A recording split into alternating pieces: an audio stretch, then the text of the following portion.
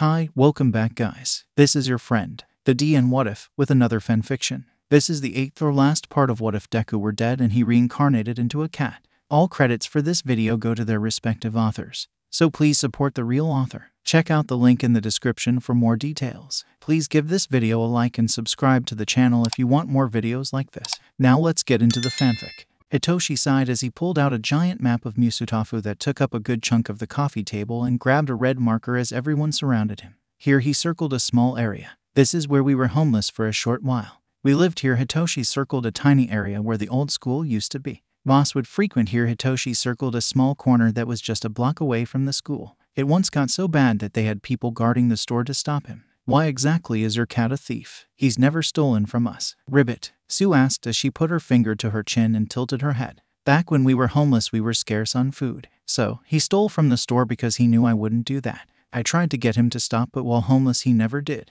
I found out even after we were taken and he'd steal food from the fridge just to make sure Eri and I were well fed. Hitoshi explained to them and he looked at the area. Right now, we saw in the footage that he's with a lot of other cats. He must be helping them get food. So, we can speculate that he's around here somewhere. Hitoshi pointed at the circle with his marker. So, it's going to take all of us to find him because this area is still rather large. We need to find a place where a bunch of cats are. Hello. As the door opened, Nedzu spoke, making everyone turn to look at him. In Nedzu's hands was Pumpkin. Followed by Nedzu were all of the Foster's cats. The cats let out soft mews and some flocked to the students. Hitoshi leaned down and picked up Brat, who came straight to him. Hitoshi held Brat carefully and gave her a quick stroke on the head. He then looked at Nedzu. I hope you don't mind me joining in. Nedzu chipperly said as he approached the table. You see, I've been having Pumpkin and the other cats scoping out where Moss is currently resting. Nedzu explained and looked at the map. May I? He extended a little paw out for the marker and Hitoshi gave it to him. Nedzu was then picked up by Aizawa, who was standing by watching. He's here. Nedzu circled a small alleyway just three blocks away from the store. The place is heavily guarded by the gang. He said, The cats all have lookouts, and if a human comes by the lookouts, often either hisses or runs to deter anyone from coming down the dead end where they all rest. Nedzu explained, A gang. Your cat joined a gang. Kaminari giggled at the absurdity of it all, and it made a few others giggle, Hitoshi included. It is a bit absurd. Dot dot dot. But Nedzu, what do you know about the gang outside of it being heavily guarded? Hitoshi inquired as Nedzu was lowered back to the ground. Fifteen cats in total, including Moss. But there's a leader. Her name is Muffin. She's smart, so be wary of her. Oh, and if a cat is in distress, the others will come to their rescue, so they're pretty tight knit. Nedzu explained to Hitoshi. Muffin, that's not exactly an intimidating name. Monoma sat on the edge of the table as he looked down at the map. Pumpkin's ears went back and he gave a mew, and Nedzu looked down at the orange cat. Pumpkin then jumped on the table. Pumpkin here says that she means business. Nedzu translated. So, do your best not to harm the other cats. Hitoshi nodded and looked down at the map. Hitoshi. Nedzu stepped up to him and made Hitoshi look at his principal. Moss trusts you. He's keeping his distance because he thinks he's protecting you. So, it has to be you that gets to him. He won't come willingly if anyone else tries to bring him back. Nedzu explained. Ojiro gave a soft noise. Not to sound insensitive, but why don't we just put him in a carrier if that's the case? Because that cat is stupid smart. Bakugo added in before Hitoshi could. Don't forget this cat successfully stole hundreds from a grocery store. We put him in a carrier, he's going to find a way out. Hitoshi nodded firmly. Bakugo is right. Not only that, but his Moss won't be happy if we do that. It's a breach of his trust. No, we need to play this smart. He mused as he looked at the map and then put Brat on the ground. Hitoshi quietly tapped the marker against the map a few times as the wheels were turning in his mind.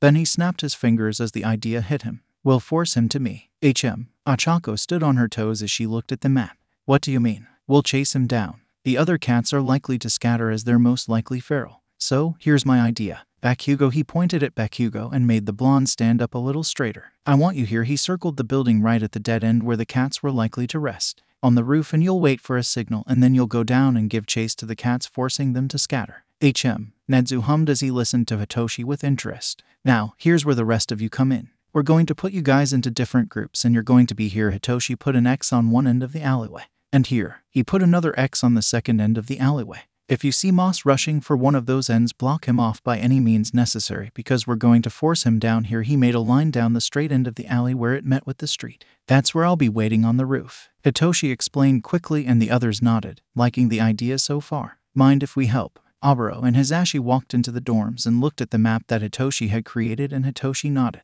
That's perfect, actually. Papa, with your clouds, you can lower the visibility so we can stay hidden.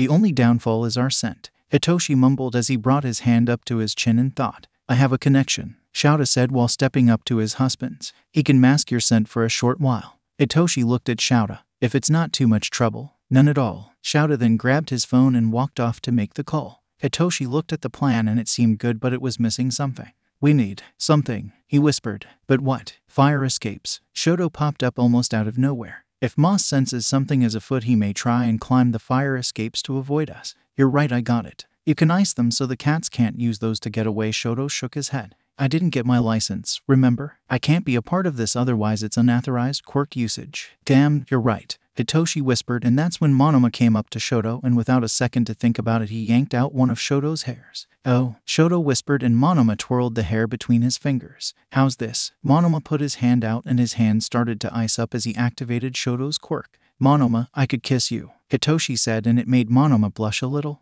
Well, thank you, but I'm not interested. Monoma laughed a little, and then he kept Shoto's hair in his palm.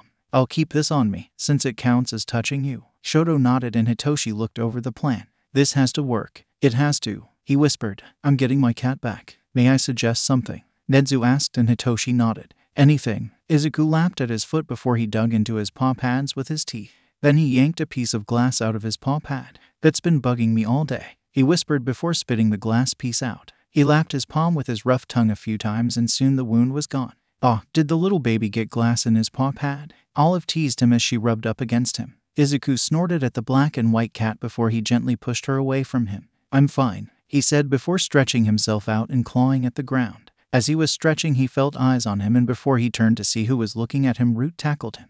The two of them rolled along the ground in a play fight. Izuku laughed as he and Root gently batted at one another while playing and rolling along the ground. Izuku thought he was winning until he realized he forgot about Rose. Rose came to aid her brother, and soon it was two against one as Izuku was fighting a losing battle. Izuku's tail swept side to side as he looked between Root and Rose. Both brown tabbies faced him, their backsides wiggling and their pupils blown wide as they stared at him. Izuku got down low and both cats lunged. Izuku rolled to his side and Root and Rose somehow slammed into each other. Well, that took attention off him as both of them started play fighting with each other. Izuku snorted as he watched the siblings play with one another. PSD. Kola rubbed under Izuku's chin as he tried to discreetly talk to him. Izuku should tell Kola what discreet means. Yes, Izuku's nose twitched when Kola's bushy brown tail rubbed under his nose. Can I help you? She likes you, Kola said while stretching himself down low with his rump in the air. Rose, that is. Izuku only shook his head. While she seems nice, I'm not looking. He told Kola and Kola shrugged. Just thought I'd mention it. Kola added while he bounded off to go and do something else that caught his interest. Izuku smiled a little as he laid down. Then Muffin spoke. Huh, that's weird, she said, and Izuku looked at her before realizing she was looking forward, and he followed her gaze before he stood up and watched a ridiculously fast mist start to roll in. Izuku and Muffin both flicked their ears back as the mist suddenly rolled on over them, and everyone quieted down as the mist settled upon them and made their visibility low. The mist was heavy and made it a little harder to breathe. What on earth? Muffin asked as she sniffed the air. This mist doesn't smell normal. Izuku lifted his head and took a whiff. She was right. It didn't smell like normal mist. It smelled more earthy, like rain was about to fall, which was weird because there wasn't a cloud in the dot dot dot sky dot dot dot. The temperature suddenly plummeted and everyone started to look around for the source. Cactus let out a surprise yowl, and Izuku could only watch as his outline hit the ground suddenly. Thankfully, his drop wasn't harsh. In fact, it looked like he had slipped. The stairs are slick, Cactus yelled before he rushed to Muffin. What do we do? It's the humans, Muffin said firmly. But I don't smell any humans, Annalie protested. No, Muffin may be right. I wonder if there's a fight or something. Izuku mumbled while flicking his ears wildly around to listen for anything. He could hear scuffling, and it sounded like a lot of people were rushing around dot dot dot, but there was no screaming, no reporters rushing to a fight, and more importantly, no sound of a fight taking place. Adelie looked nervous as she looked about, as all the other cats did. Muffin, Ash whispered nervously as he got closer to her friend. I think we need to leave. Something doesn't feel right. No sooner had the words come out of Ash's mouth had an explosion popped off, making all the cats jump, Izuku included. A figure fell from the sky like an angel from the heavens, and that person would be none other than Bakugo Katsuki. I found you. Bakugo roared as he used his explosions to keep himself in the air. The loud noise, accompanied with the fact that a human had found their way into their safe space, sent everyone scrambling. Everyone except Izuku. Izuku felt like he was back in middle school as he just stared at Bakugo as his old friend rushed at him. Izuku let out a scared wail when he realized that Bakugo was going to grab him to hurt him like he used to. Well, his wail didn't fall on deaf ears, it would seem. Muffin spun around, skidded, and then rushed right at Bakugo. When Muffin jumped and landed directly on Bakugo's head, it threw Bakugo off and sent him careening into the nearby wall. It also snapped Izuku back to the present, and he wasn't in middle school anymore. Run, Muffin yowled at him as she and Bakugo scuffled with Bakugo trying and failing to get her claws out of his face. Izuku turned and took off. He would go straight down the alley with the others. There would be a cross section coming up, and those would lead out. Izuku turned towards the left with Adolly. He could see the end coming up. A massive black thing shot out from the opening and it roared at them. Izuku saw Dark Shadow's yellow eyes staring at him before the quirk, like Bakugo, gave chase. Izuku let out a scared yelp and scrambled against the harsh alley floor. He actually had to use his claws to get a grip on the floor and take off running the opposite way with the other cats. What is that thing? Adolly demanded as she kept speed with Izuku. Thaw. It happened suddenly. One moment Adolly was with him, the next she was gone. By what? Sue's tongue, that's what. The girl had Adolly before she put Adolly in a carrier. Izuku went for the next intersection but skidded to a scrambling stop. Not only was this end of the alley tapped off by Sero's sticky tape, that several of the cats got stuck in and were now being extracted and put into their own carriers by the other students. But the moment Izuku was in their line of sight, there was an outcry, and several students gave chase with Mina using her acid to start skating along the alley. Izuku, once again, found himself scrambling for safety as a distressed yowl left his mouth. Leave me alone, he cried to Mina and the others as they gave chase to him. It was a literal clash when Mina collided with Dark Shadow, and several of them all fell to the ground from the impact and from being forced to stop so suddenly. Bakugo let out a roar as he flew above all of them and used his explosions to propel towards Izuku at a fast rate. Izuku tried to increase his speed, if that was even possible. Bakugo had new cat scratches all over his face and he let out a primal scream. Izuku also let out his own scream as he only saw one more exit. Bakugo was gaining speed, his explosions dissipating the mist and clearing up the chaos that was currently happening. Class 1A was working to collect the gang, several of them fighting with the cats to get them into carriers while Koda was working on trying to get the cats to calm down but obviously couldn't be everywhere at once. Aizawa and Hizashi were part of this with Oboro being on a nearby roof to keep the mist up. Bakugo wasn't letting up and Izuku could feel Bakugo's hand reach for him. His fingers nearly grabbing at Izuku's tail, Izuku found his speed and forced himself to go a lot faster in one last adrenaline rush. Izuku could see the light from the end of the alleyway. He could see the street, he could see that nobody was there. I'm almost there. He thought, unaware that Bakugo's explosions had ceased, unaware that everyone was now watching with bated breath. There was a noise about Izuku. It sounded like a bird taking off, and he didn't even look. He only had one thing on his mind, and that was getting the hell out of Dodge. It was right before he hit the threshold. Right as he was going to jump to freedom, did it happen. First, there was nobody. Then there was somebody. Izuku was in the air when this person dropped from the sky directly in front of him and scooped him up with ease. Izuku didn't even look at the person as he let out a series of yowls as he tried to claw at this person. To his surprise, even as Izuku drew blood with his claws, even as he bit the person with his sharp fangs, they never let go. No, they tightened their hold on Izuku. I, it's okay, it's okay. A voice finally started to ring into Izuku's ears as Izuku kicked and struggled. You're okay, the familiar voice said before it was suddenly dark. Wings engulfed the space and created a barrier between Izuku and the chaos from the outside. You're okay. Izuku sucked in slow breaths as he felt himself slowly look up at Hitoshi. Only, Hitoshi's hair was straight and put up into a high ponytail so it was off of his neck. Hitoshi was smiling as he patted Izuku between the ears and down his spine. Hi, Moss, Hitoshi said in a soft voice. Izuku looked at Hitoshi then at the wings encasing the two of them dot dot dot then back at Hitoshi. It's a trick. It has to be Izuku trying to weakly struggle but Hitoshi didn't let go. It's okay. I'm okay. You're okay. Hitoshi whispered before he gently scratched under Izuku's chin. I'm not letting you go, Hitoshi said firmly when Izuku tried again. You don't have to protect me anymore. Izuku. Izuku's fight slowly died as he felt himself relax against Hitoshi's warm embrace. Dot dot dot god dot dot dot how he missed this. SHH. Hitoshi whispered when Izuku let out a mew. We're going to work this out together. I promise. But we can't do that if you stay away. Hitoshi kept Izuku firm against his chest. It's going to be okay. He promised in a soft whisper, It's going to be okay. He reassured Izuku and Izuku. Izuku could only believe him and he let out a soft mew. I know. Hitoshi lowered the wings his wings. But we have help. Don't forget that. And he held Izuku up straight with his hand firmly under Izuku's rump so Izuku could see just what was happening. Yes, Mono was putting cats away in carriers. But it was clear now that Oboro had stopped misting the place up, that the cats were actually being put in carriers for their own safety. Everyone was done and all were staring at Moss and Hitoshi. See, they're all here to help. Hitoshi told Izuku as, We're all going to get through this, but we need you, Moss. You're central and you're not at fault for Nai's finding me. There's just no way. Hitoshi whispered and held Moss up by his underarms so they were now facing each other. You were a core part of my rescue. If not for you, I don't know where I'd be right now. Hitoshi then smiled. So please, come home. Izuku stared at Hitoshi for several long seconds and Hitoshi stared back, neither of them making a move. Then, Izuku wiggled a little and Hitoshi slacked up his grip. Izuku then jumped on Hitoshi's shoulder and rubbed his face against his friend, and Hitoshi grinned at this. God, reek. Hitoshi joked but still did wince when he got a whiff of Izuku's fur. Izuku twitched his nose and then licked Hitoshi's cheek. Then there was a yowl. Nobody captured Muffin. Muffin was gunning for Hitoshi. Her yowl of I'm coming told Izuku all he needed to know that Muffin thought Hitoshi was going to hurt him. Izuku leaped from Hitoshi's shoulder and got in front of Muffin quickly. He blocked all of her attempts but didn't fight her himself. Muffin, it's okay, it's okay. Izuku told her gently as he then grabbed her from her scruff and both of them tumbled to the ground. It's okay, Izuku, they have the gang. It's okay. Izuku yelled again, this time a little louder. Muffin, this is Hitoshi, my owner. This is his class and his parents. They're just trying to protect us. Look, Izuku urged her to look towards the others, and she did. The children were already starting to let the cats out. They were only putting them in carriers to stop us all from scattering and getting lost. Muffin's ears went back as she watched as one by one the carriers were being opened.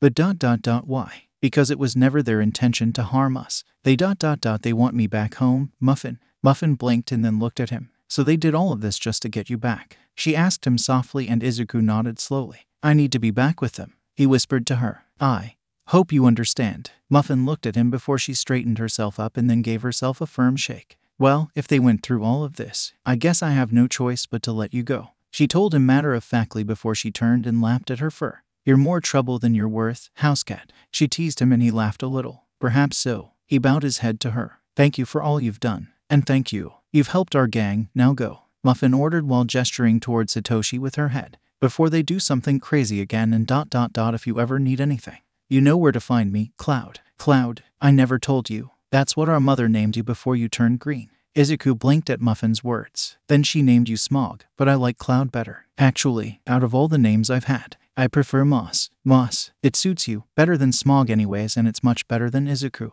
Muffin laughed a little before she turned and patted away. See you around, Moss. See you. Izuku then turned towards Hitoshi. Hitoshi opened his arms wide and Izuku didn't hesitate. He jumped right into them and Hitoshi held him close with a smile. I'm never going to let you go. Hitoshi promised in a soft whisper, and Izuku rested his head against Hitoshi's chest before he put a paw up and gently grasped Hitoshi's hero costume. Izuku looked up at Hitoshi and Hitoshi smiled. That's a promise. Izuku floated on his back in the shared bath that all the boys were having. The water was nice against his fur, and the others didn't mind when Hitoshi shampooed Izuku down with cat shampoo. There was a small issue when fleas jumped from Izuku, but seeing how the tub would be drained, it wasn't too much of an issue. Soon, Izuku was dried and boy did his fur puff out after he was blow dried by Aoyama. But before he knew it, after all was said and done, he was being tucked into bed with Hitoshi. Izuku had questions he couldn't ask, and Hitoshi knew this. Not tonight, he said as he put Izuku into bed. Tomorrow, I'll explain everything, but tonight, tonight we rest. We both need a rest and you've had a day. Hitoshi then put the blanket over Izuku but kept Izuku's head out of the blanket. Izuku snuggled close to Hitoshi and Hitoshi relaxed. Sleep was instant for the both of them as they were both finally reconnected. At some point in the night, Izuku woke up to Hitoshi throwing an arm over him and pulling him in. Izuku blinked at this before smiling to himself and resting his head on Hitoshi's hand. Good night, Hitoshi. Izuku mewed softly and then fell into a deep and relaxing sleep. He was back and here to stay by Hitoshi's side for as long as possible. True to his words, Hitoshi sat Izuku down and explained what happened in the two months Izuku had been gone. He explained how his quirk was gone, something Izuku already knew thanks to Nai's, and he explained how his wings came to be, how he had to be heavily sedated by midnight because the wings were going to burst from his back, how he had to learn how to use this new quirk, and how he learned they really just allowed him to fly. Nothing like Hawks' wings outside of the feathers growing back once lost.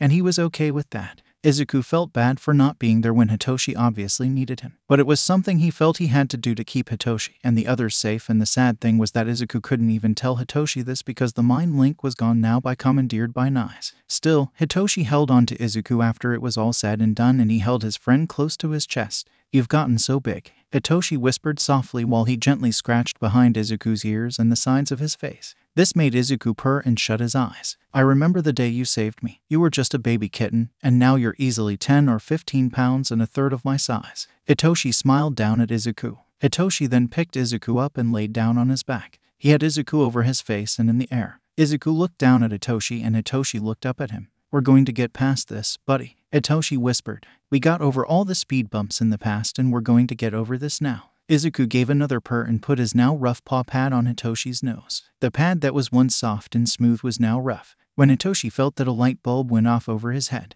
Come on, it's the weekend and I got an idea. Hitoshi picked Izuku up and held him like a suitcase as he went for his door. I wonder what's on his mind. Izuku wondered in his thoughts, wishing he could ask Hitoshi. All he could do was let out a soft mew as Hitoshi walked out of his dorm room. Izuku had no idea where they were going. Well, he would learn it was out of the dorms as Hitoshi walked down to the common room, said hello to some of his classmates, and then put his shoes on at the door. Then he left. Outside it was cloudy out and the clouds were a dark gray, almost black, signaling that rain was going to happen soon. Hitoshi hurried for the apartments. Izuku just looked at everything before he wiggled a bit and gave a mew. Oh, Hitoshi stopped and put Izuku on the ground. Izuku stopped and got down low, wiggling his butt a bit as he did this. Hitoshi understood and got low with his arm extended out. Izuku jumped up and took his place on Hitoshi's shoulders. Izuku, however, kept his eyes on Hitoshi's new wings. The wings reminded Izuku of a Dalmatian, white with black spots, but these spots were uniformed as is for a snowy owl. Still, as Hitoshi walked, the wings moved gently with each movement.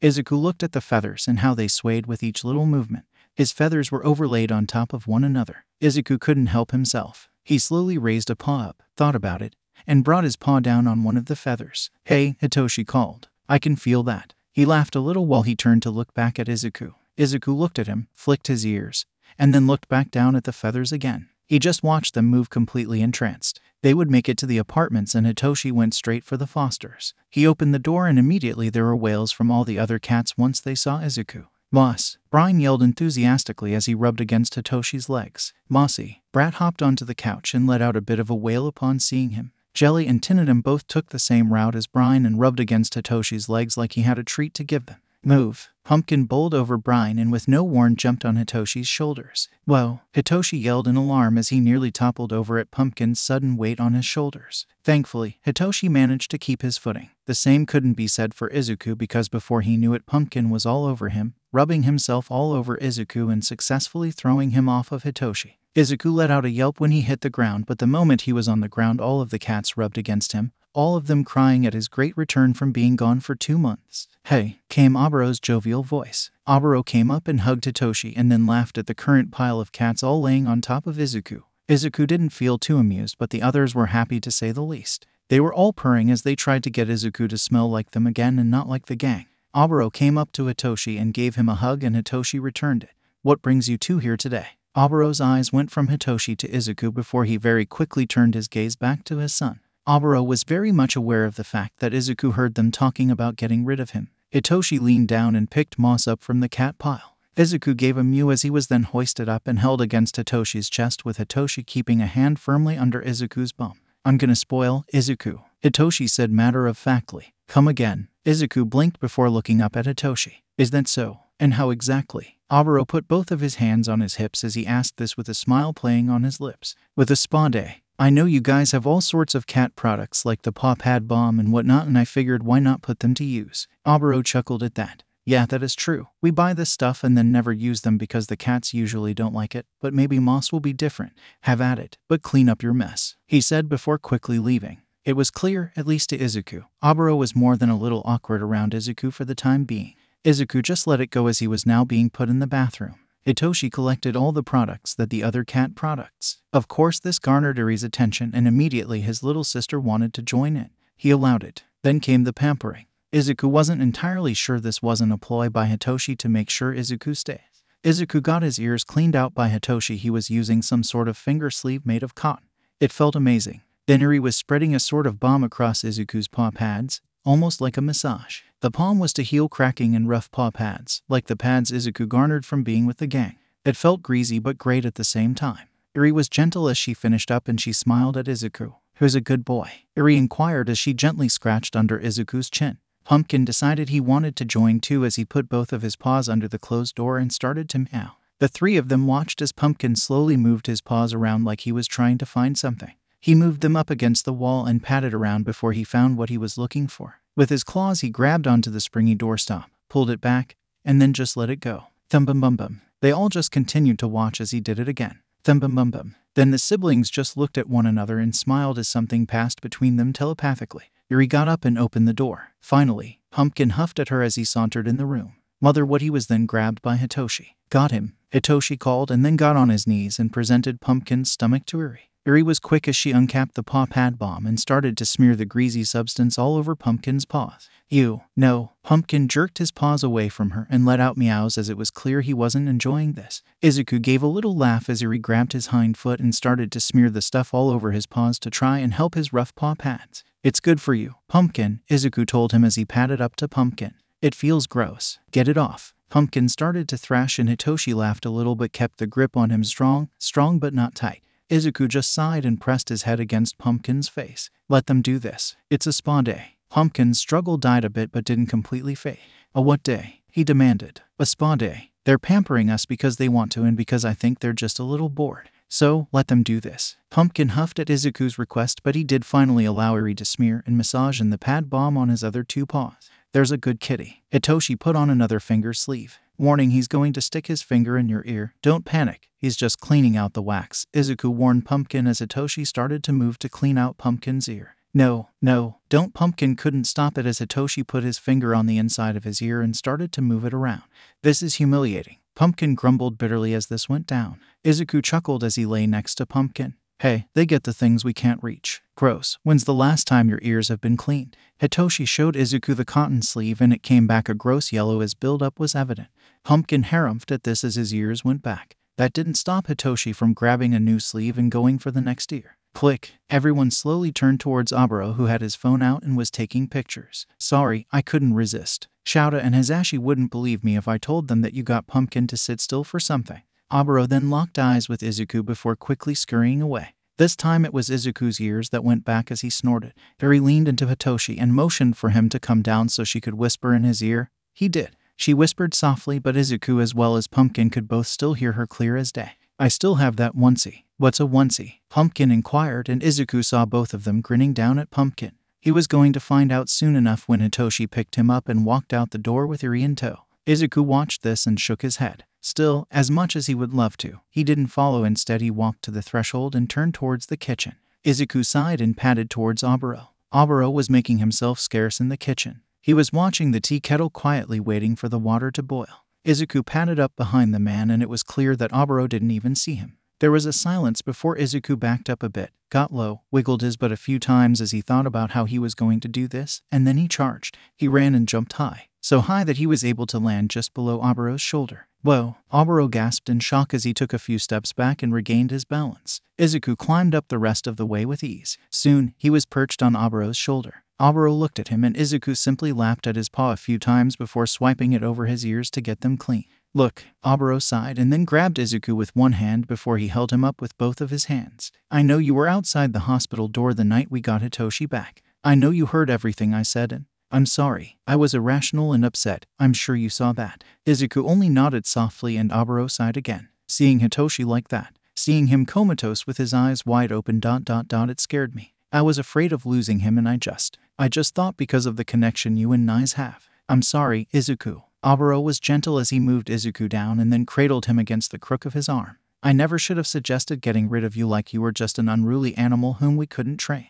It was unfair and unjust on my part. You never should have thought that you were better alone than back with us. We'll always love you and you're always welcome in this household. Oboro rubbed his cheek against Izuku's face and Izuku gave a weak purr in response as he felt his emotions well up a bit. Am I forgiven? Oboro inquired, and Izuku gave a simple nod. This made Oboro smile. There was a sudden yowl that made both of them turn their heads just in time to see Pumpkin come crashing towards them, his footing off balanced by the onesie he was put into. Pumpkin scrambled against the floor, and Oboro couldn't help it. He let out a barking laugh, and it was echoed by Eri's and Hitoshi's own laughter from down the hall. I got to get a picture of this. Oboro laughed as he gently put Izuku down and went to take his camera out. Pumpkin would not hold still as he continued to scramble against the linoleum floor to the best of his abilities. Get this thing off of me. Get it off, Pumpkin demanded as he tried to get his footing, but it wasn't coming. He slipped all over the place as he ran at top speed. This caused the other cats to come and watch this chaos unfold. It was like trying to grab a greased up pig. Despite Pumpkin demanding this thing come off, he would let anyone grab him. He ran between Hitoshi's legs and around her with slippery stealth. It was Oboro that finally caught him by encasing him in a cloud. Oboro was chuckling so hard that he had tears in his eyes and was still giggling while he snapped that photo, no doubt to send to the other fosters. Then, when that was over and done with, he managed to take a struggling pumpkin out of the onesie. Once he was released from his clothing prison, Pumpkin jumped to the ground and shook himself off. That's the last time I let you talk me into doing something. He grumbled before licking himself. Izuku let out a laugh and just let Pumpkin storm off. Brian came up to Izuku and Izuku looked at him before smiling. It's good to have you back, Moss. Brian pressed against him and Izuku returned the press in full. I won't lie, it's good to be back, Izuku whispered in return and he meant it. He had no idea how much he missed this family until he was away for so long. Brat suddenly barreled into him, and before he knew it, the two of them were play fighting. When the time came to return to school, Izuku was vested up and sitting where he belonged, right on Hitoshi's shoulder. Hitoshi was in a skirt today, along with a crisp new shirt and blazer. Apparently, all of his shirts had to be new because of the wings on his back, which made sense, and was wearing his boots in an outfit Izuku hadn't seen for a while. Everyone missed him as he received pats from Wano when they went to the common room. Dark Shadow held him close and yoinked him off of Hitoshi's shoulder. I didn't mean to scare you. Dark Shadow whined while they gently patted Izuku's head. It's okay, Izuku responded, but he knew the quirk couldn't understand him. Dark Shadow would return Izuku to Hitoshi's shoulder when Tokoyami called her back. Then it was back to class, and dot dot dot well dot dot dot something interesting happened on the way to class. Hitoshi was at his locker to collect his belongings when someone bumped into him purposefully. Hitoshi snorted at the person. So, I guess we should start calling you Hedwig now. The person, someone from business class, had asked as he leaned down in a fashion that one would call intimidating. If they were taller than Hitoshi, that was, but they weren't. They were shorter than him. Izuku was sure it was the boots that gave Hitoshi the height advantage. Call me whatever, I don't know you, hey. Then the prick suddenly grabbed one of Hitoshi's wings and yanked on it. These don't look impressive, you Hawks wannabe, but from what I heard, it's an upgrade from your previous quirk. Izuku let out a hiss as he got ready to lunge. Truthfully, he was ready to attack when the ass grabbed Hitoshi's wing the way he had. But his comment was just the final straw. However, it never escalated to that. It happened so fast that Izuku hardly had time to register it. Bakugo, who hadn't been far away, had grabbed one of his textbooks and struck the business class kid upside the face with it. The kid's head whipped to the side before his face struck the lockers and his knees nearly gave out. Don't be a prick, Bakugo roared at the kid. A hand grabbed the kid's wrist and held it tightly, so tightly that it undoubtedly caused the bones to click together, judging by the kid's painful face as he looked at Monoma. Don't you know better than to touch others without permission? Monoma demanded with his eyes unyielding. You act like I asked for my quirk to be taken. Hitoshi hissed as he then looked at the boy, and the boy's eyes narrowed. With a quirk like the one you had, I would have. That was all he had to say before he yanked his hand out of Monoma's grip before he bumped past Hitoshi. How you're still in the hero course, I don't know. Oh, wait, I do know. You're the son of your teacher. Must be nice. My brother was expelled for doing less by your father, was his last words before he walked on. Ass. Bakugo growled a bit as he and the others watched the prick go. It's fine. Hitoshi huffed. They're upset and afraid, and I don't really blame them all that much. Still, he shouldn't get away with talking to you like that. Monoma grumbled while they finally collected their things and power walked toward class. True, but let them. I think you can both agree. I faced worse. That was the unfortunate truth. Still, Hitoshi could only hold his head up and try to smile. He and Izuku both. Bonus. Inko didn't want to believe it. What Shino Monoma had told her was absurd, but when Shino showed her pictures of her father, there was no denying it. That was Hisashi, the man she fell in love with all those years ago, but that would make him old. Yet, Hisashi didn't look like he aged a single day. It was insane. So insane that Inko had told Shino to leave and never come back, but yet here they both were weeks later staring at one another per Inko's own request. Shino sipped her tea as Inko looked at the table. Steven sat next to Inko looking just as baffled as she was. Why did you tell me this? Inko finally asked as she looked at Steven, and Steven only nodded as he was wondering the same thing. Why tell someone this? Truthfully, Shino put her teacup down and then put her hands in her lap.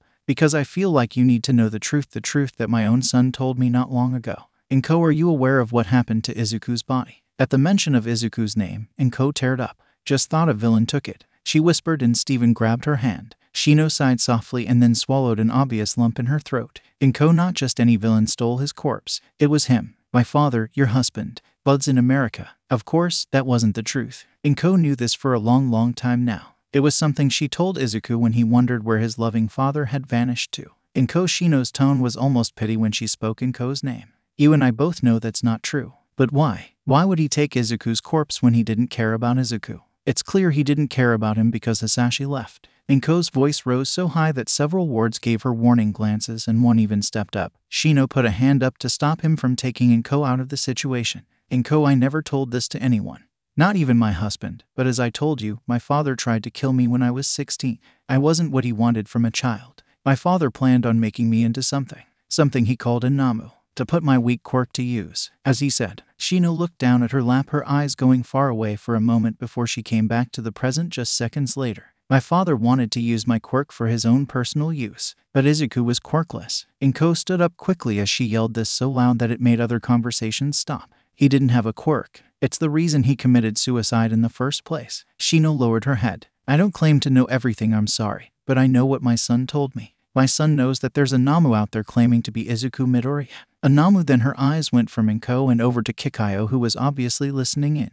That attacked your son, Akiko Shinzu. Oh, yes, I know exactly who you are. Kikayo's eyes narrowed as she put her plastic fork upwards. I will stab you, she hissed to Shino darkly. Shino was unfazed as she turned back to Inko, then she turned her attention to Rei. Rei was sitting at the table next to theirs. She was at making it look like she was eating and not listening in. Your son is also in my son's class. Perhaps you should pay attention as well. Rei looked up and then put her fork down. While I won't stab you, I should let you know who my husband is and the fact that I also have a hero's license. You're freaking everyone out and we don't much like it. I'm warning you all. This thing, this Nomu, it has Izuku's memories and it won't be long before it comes here. Why? Inko whispered and Steven gently patted her hand as she sat back down. Why Izuku is all I'm asking. Why can't he just rest? While I don't know why he chose your son, I do know this. This thing, this Nice, as my son called him, is growing more and more intelligent by the day, and I just want to be sure that you're all protected because she now turned to Kikayo. He managed to kidnap Hitoshi right from under UA's nose. Kikayo stood quickly, but Shino put her hand up. He's been found and he's alive. That being said, it's only a matter of time before Nice finds you and you. Shino looked at Inko and then Kikayo respectfully, to try and get to Hitoshi or Hitoshi's cat. Is cat? Kikayo inquired, and Inko's mind flashed to that green cat. The cat with those familiar green eyes. Neito hasn't gone into detail on why this Nomu wants a cat.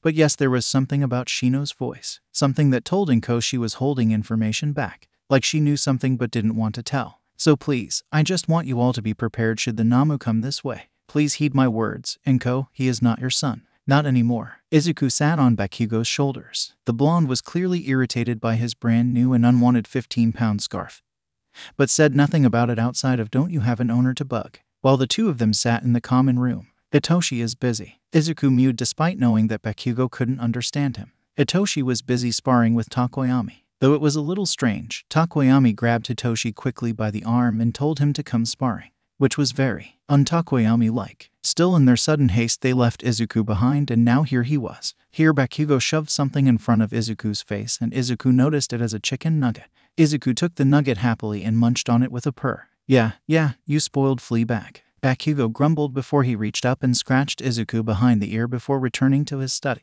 Izuku got up and stretched on Bakugo's shoulders before he then jumped down. He was starting to grow restless and was sure Bakugo wanted to be alone. Bakugo stretched his neck from side to side before groaning. God, you're fat. I'm not fat. Izuku hissed and Bakugo rolled his eyes. Deny it all you want. Izuku's ears went back, but then he turned and walked away. Good, you need the walk. Izuku spun and hissed again. This made Bakugo smirk a little. Izuku felt himself bristle before he snorted and turned away. He had better things to do. Izuku swayed his tail from side to side and then walked to find something to do. Well, he didn't have to go far when the doors opened and in came Vlad. You, Vlad hissed, and Izuku promptly turned to walk away from him. Oh no, you don't. Izuku let out a meow of protest when he grabbed by the middle. He tried to struggle against Vlad, but the man refused to let go. If anything, he tightened his grip on Izuku as he held him like a suitcase under his arm. Izuku even resorted to biting Vlad's arm, but Vlad hardly flinched. Instead, the man just kept on walking without a care in the world. They walked out of the dorms and into the apartments with ease. Put me down.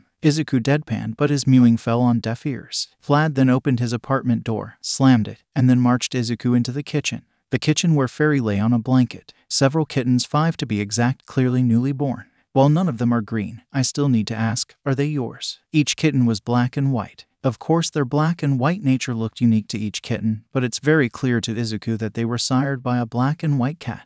Izuku just looked at Vlad and he didn't need to speak as he just gave Vlad a look saying, Are you for real? Izuku just sighed, turned, and left the apartment. Yeah, he wasn't doing anything right now, but he didn't have time for baseless accusations. Vlad just watched him go with a huff. Yeah, well, stay away from Fairy. Slam. Izuku let out a yelp when the door hit him on the way out. He looked back at the door with a glare before sitting there in the hallway. He thought about what he wanted to do. It was such a peaceful day that he wasn't sure. I wonder if Hitoshi is done with Tokoyami. Izuku mused out loud. He got up before stretching his back out and putting his hide in the air. Izuku grunted and then stretched out his hind legs and then splooted and dragged his hind legs along the ground for a few seconds. Once he stood up straight, he looked around and then decided to just leave and see if Hitoshi was done. Hitoshi ran his hand down his face as he looked at Fumikage with wide eyes. Are you sure? He whispered, almost wanting Tokoyami to repeat himself again. Fumikage nodded slowly. Absolutely. Hitoshi let out a soft breath. We can't go to the teachers without proof. He paced around while gently tapping his fists on top of one another while he thought about what Fumikage had told him.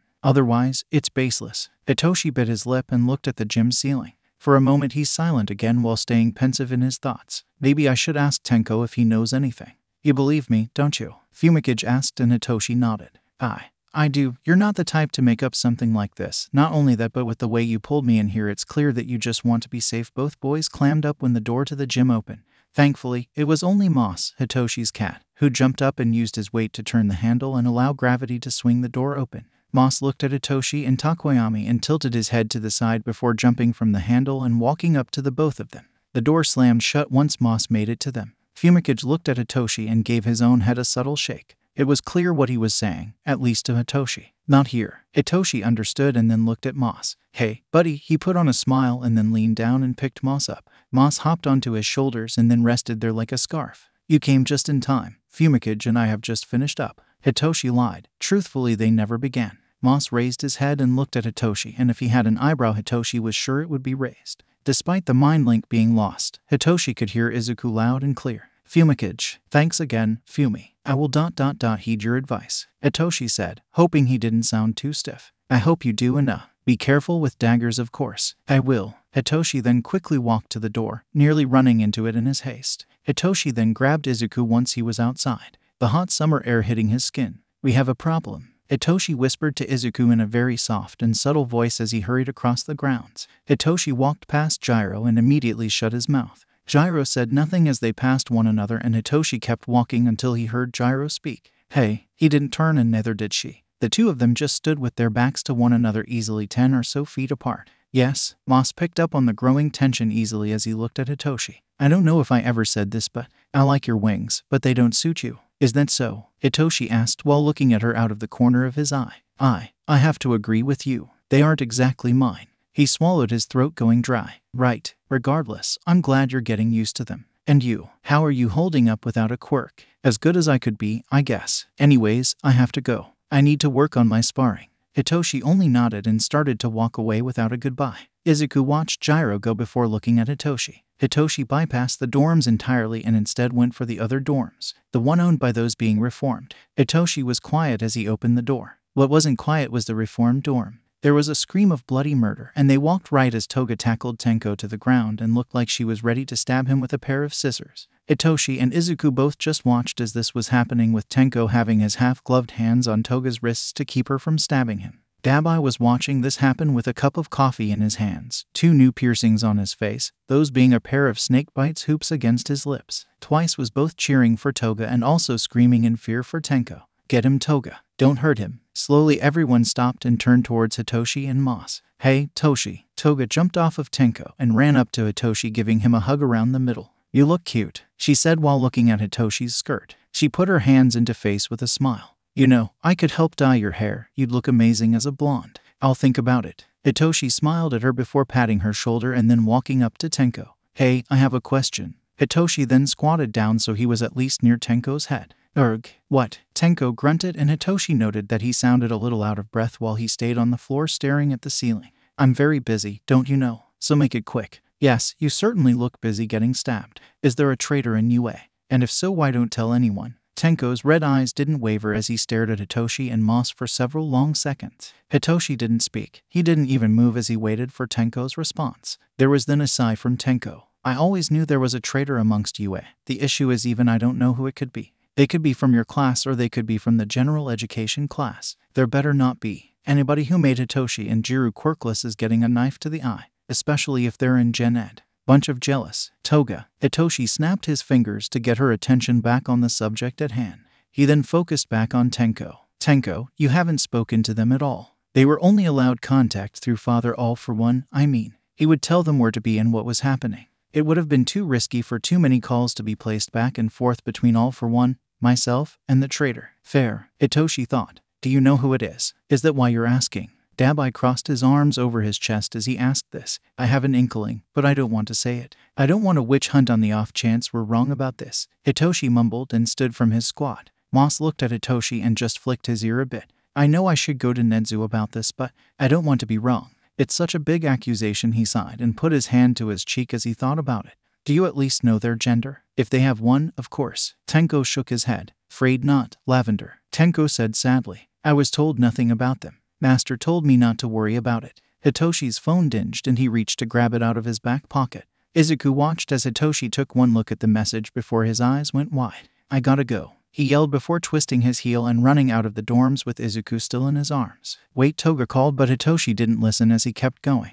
Hitoshi looked at Izuku and then stopped and put his cat down. Go get dad. All of them, lead them to Gym Gamma. Hurry, Moss. Hitoshi yelled to his friend while he kept running to the gym. Tokoyami is in danger. His phone was still in his hand, the message fresh in his mind. Ebony darkness. They know I know. Come to the gym quickly. Damn it. I knew I shouldn't have left him when I did. Hitoshi thought in his growing worry. Unfurling his wings, he jumped and took off into the air to get to the gym faster. The gym really wasn't even all that far, but that didn't stop Hitoshi from going full speed, so fast that his hair tail nearly slipped out of his hair as he saw the facility coming up. Hitoshi landed on the ground and rolled, doing a complete somersault, but didn't stop running. He sprung up at high speed and threw the gym doors open. Fumikage. The gym was dark. All the lights turned out, leaving the gym swallowed by darkness. Silence. Dead silence. The silence that gave away Hitoshi's attacker when he heard them shuffle from behind.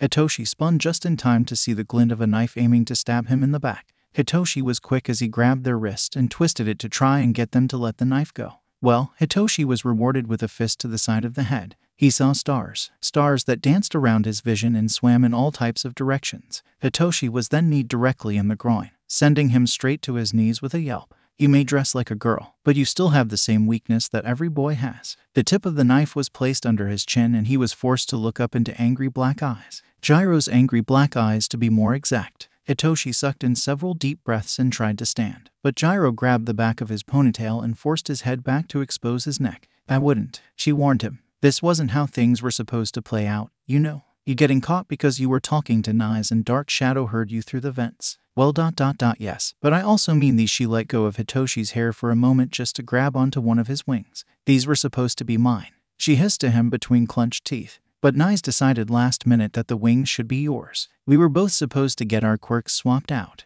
But in the end, you got the quirk I was supposed to receive. You knew we were going to be taken that night at the camp. It wasn't a question but a statement, and Jiro laughed a mirthless laugh. I did. Granted, I didn't expect to actually be paired with you. That was just a bonus. She kept the knife pressed against Hitoshi's Adam's apple and Hitoshi swallowed hard. What did you do to Fumikage? Fumikage. I thought it was just a slip of the tongue on your part, but you're actually that close with him. She said with a bit of a sinister smile on her face. I have to say, it's about time, but it's also a little too late, I'm afraid. With how much it was clear he had a crush on you. What? But you never seemed to return his feelings. Only now he became Fumikage. He had a crush on me. That can't be right. Right. Hitoshi's mind flashed to nearly every interaction he had with Fumikage leading up to this moment in time.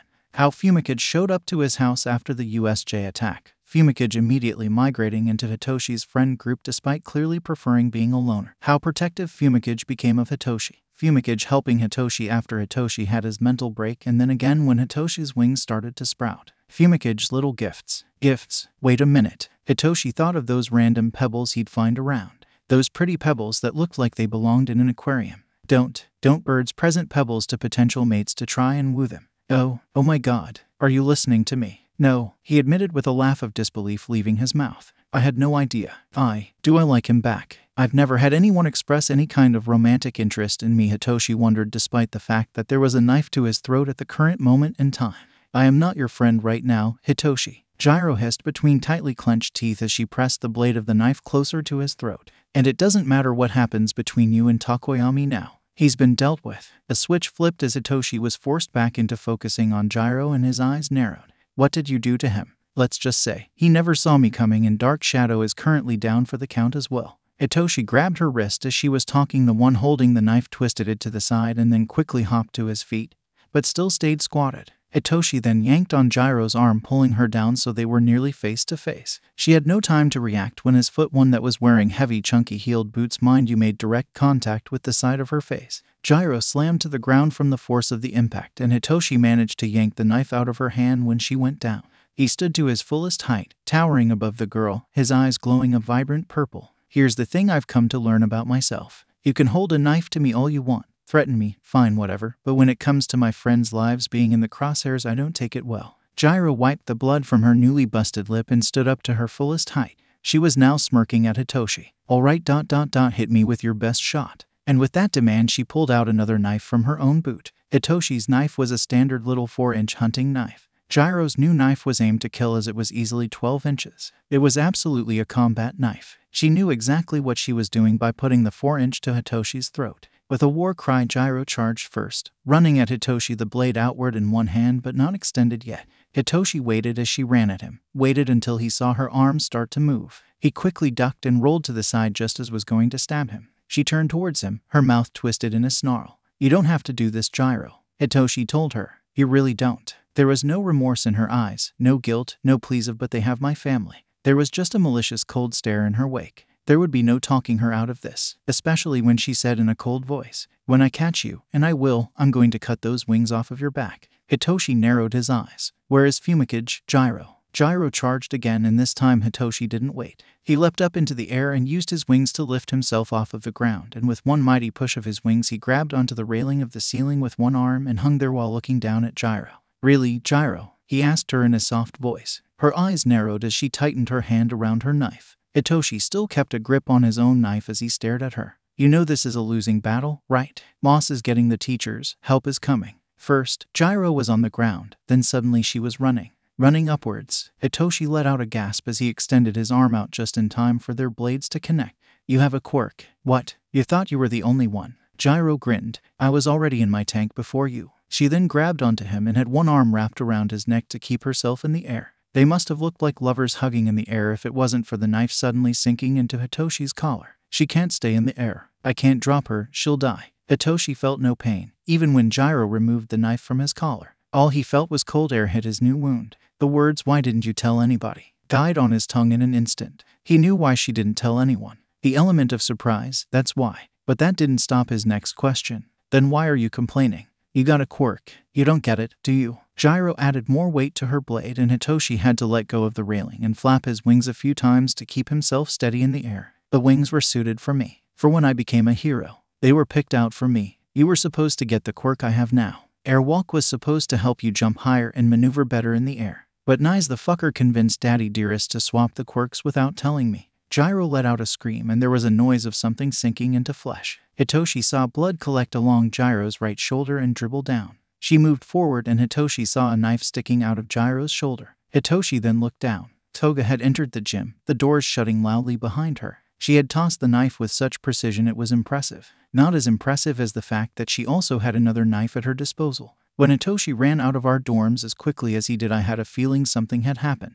Don't worry, Hitoshi. Dabi and Tenko are getting the heroes now for you. Toga pointed her knife at Jiro. How dare you? We trusted you. We mourn for your loss and you just Toga gnashed her sharp teeth together. It pisses me off. Stay out of it. Jiro yelled to her, and Toga clutched her remaining knife so hard that it turned her knuckles a stark white. Stay out of it. Knowing that you're working with the thing that took my quirk, Toga took a step forward. I think not. Hitoshi, Kick her to me. I'll show her how one actually uses a knife. We're not killing her, Hitoshi dodged and pushed Jiro back right when she swung her knife around to stab him. She got him right in the cheek with that sharp blade. He let out a cry of alarm, but his adrenaline kept him from feeling pain. His pushing Jiro away from him was more of a reflex than anything. Thankfully, when she fell, she hit a pile of mats, breaking her fall and keeping her from hitting the hard and unforgiving ground. Jiro jumped up quickly. Hitoshi let out several loud pants as he swiped at his new wound, smearing his own blood all over his face as he did so. Toga let out a battle cry as she rushed at Jiro with a fast speed. Jiro leaped in the air, easily jumping over Toga. Hitoshi gave his wings one big and mighty flap, sending a gust of wind straight to Jiro, knocking her off balance and back to the ground. The drop wasn't deadly, but it stunned her for just a few seconds. Those few seconds were all Toga needed. Toga grabbed Jiro's ankle and pulled the girl directly under her. Jiro slashed with the knife, but Toga grabbed her wrist with lightning fast speed. Didn't I tell you I love blood? My quirk made me crave blood to survive. Toga hissed as she tightened her grip around Jiro's right wrist. I learned how to use a knife from an early age and only perfected my techniques in knife wielding. Compared to me, you're a novice. There were several sounds as their knives clashed, Toga being able to stop Jiro from stabbing her time and time again with ease. At one point, Hitoshi was sure he saw their knives spark. Toga managed to knock the blade from Jiro's hand with raised her own blade up, and Hitoshi realized what was going to happen. Toga, no. Hitoshi raced to stop Toga from killing Jiro. S-H-I-N-K. Hitoshi stopped in midair with a gasp as he covered his eyes, fearing the absolute worst. Slowly he peeked through his fingers to look at the damage. Jiro wasn't dead, thank God no. Toga had taken Jiro's knife and sunk it right next to Jiro's head, an intentional scare. Hitoshi dropped down from the air and rushed to the girls. Hitoshi was panting heavily as was the others. You were made a fool. Toga was staring at Jiro with unforgiving eyes. Jiro gnashed her teeth together as she stared at Toga. Hitoshi saw blood and saw just where Toga stabbed Jiro. She stabbed Jiro right through her knee, keeping her pinned to the ground. You got too comfortable with your role and because of that you got caught. Jiro was clearly trying not to scream in agony as she panted and stared at Toga. Hitoshi grabbed Jiro by her shirt and lifted her up. This agitated Jiro's new wound and she stifled a scream. Fumikage, where is he? Jiro panted through gritted teeth and then just pointed. She pointed towards the closet. Hitoshi dropped her and ran for the closet. Hitoshi nearly ripped the closet door off of its hinges. He fell to the ground right as he opened the door. Dark Shadow let out a roar and let the darkness of the gym fuel her anger as she grew to unimaginable heights. Her yellow eyes glowed in the dark and were fueled by anger. What kept her at bay while in the closet? Jiro had put in some sort of super powerful light in the closet. One that made it look like a mini sun was in the closet. Now, in the darkness, nothing could stop Dark Shadow from avenging her injured host. Fumikage was on the ground and was thankfully still alive as he was cradling a wound on his side that was still bleeding on the ground. Hitoshi only saw this for a second before Dark Shadow surly around him and encased him in her darkness. Dark Shadow Fumikage yelled loudly, but it did no good. She was pissed. If Toga wasn't going to kill Jiro, Dark Shadow was. Her yellow eyes turned red in her ire, and even Toga let out a soft oh shit. When Dark Shadow let out an enraged roar that shook the windows of the gym. Hitoshi had never seen Dark Shadow this pissed before, and he felt helpless as he just stared at this massive beast before him. However, salvation came when the doors to the gym opened. Steaming and desperate sunlight weakened Dark Shadow considerably. Keep the doors open. Hitoshi yelled to whoever had come in. He was relieved to see not just his father's, but it looked like the whole cavalry had come as all the UA teachers swept into the gymnasium with Izuku on Nezu's shoulders. Dabi and Tenko were there as well. Dabi was quick to run to Toga's aid and help her to her feet. Fumikage was dropped when Dark Shadow continued to shrink as Toshinori turned the lights to the gym back on. Fumikage let out a groan when he hit the ground and Hitoshi rushed to him. Are you okay? Hitoshi asked as he held Fumikage's head up. She got you too, huh? Fumikage grunted as he looked at Hitoshi's cheek and collar wounds. Yeah, but I'll live. Let's get you up. Buddy, on three Hitoshi counted to three and let Fumikage lean on him while the teachers were quick to surround Jiro and Toga. If it wasn't for her, Hitoshi tried to come to Toga's aid, but Nezu put a paw up, silencing him quickly. I'm aware. The cameras need to be checked, and as it stands, four students got into a rather bloody knife fight in the gym. This includes you and Tokoyami. Your wounds will be healed, but unfortunately, until we've seen the camera footage, you all have to wear quirk suppressants and cuffs. I do hope you all understand. I don't need suppressants, Toga pointed out as Mic had to cuff her, seeing how she didn't have any injuries that needed healing. Recovery Girl looked over Hitoshi and Fumikage and determined them well enough to kiss. Each received a kiss for their wounds, and each of them nearly dropped to their knees afterwards as their stamina nearly emptied completely. Yet, nothing is more embarrassing than having your own father cuff you and put suppressing cuffs around your wings. Why didn't you just call me? Shouta asked as he finished adding the cuffs. Fumikage was in danger, Hitoshi whispered. You wouldn't do the same. This isn't about me, Shouta grunted. They were all a spectacle being hauled out of the gym in cuffs and suppressants. Izuku jumped from Nezu and onto Hitoshi's shoulders, where he lay across offering the most he could at this time. his emotional support, and for that Hitoshi was grateful. Cameras were checked as promised, and Tokoyami was in the clear. Hitoshi got a scolding from a lifetime by all three of his dads. While they were happy he came out of this unscathed, they were mostly upset that he didn't tell them that one, Tokoyami may be in danger, and two, that he has reasons to believe there may be a traitor amongst them. Hitoshi kept his head down as his parents each basically had a verbal go at him. So, while both he and Tokoyami were in the clear for self defense, they were still to be punished for not sharing their information with a teacher. If you would have just gone to us, we could have not only investigated Jiro immediately, but would have put her into an interview room and made sure she had no weapons on her. So, because of both of your poor judgments, you both will be under house arrest for four days straight.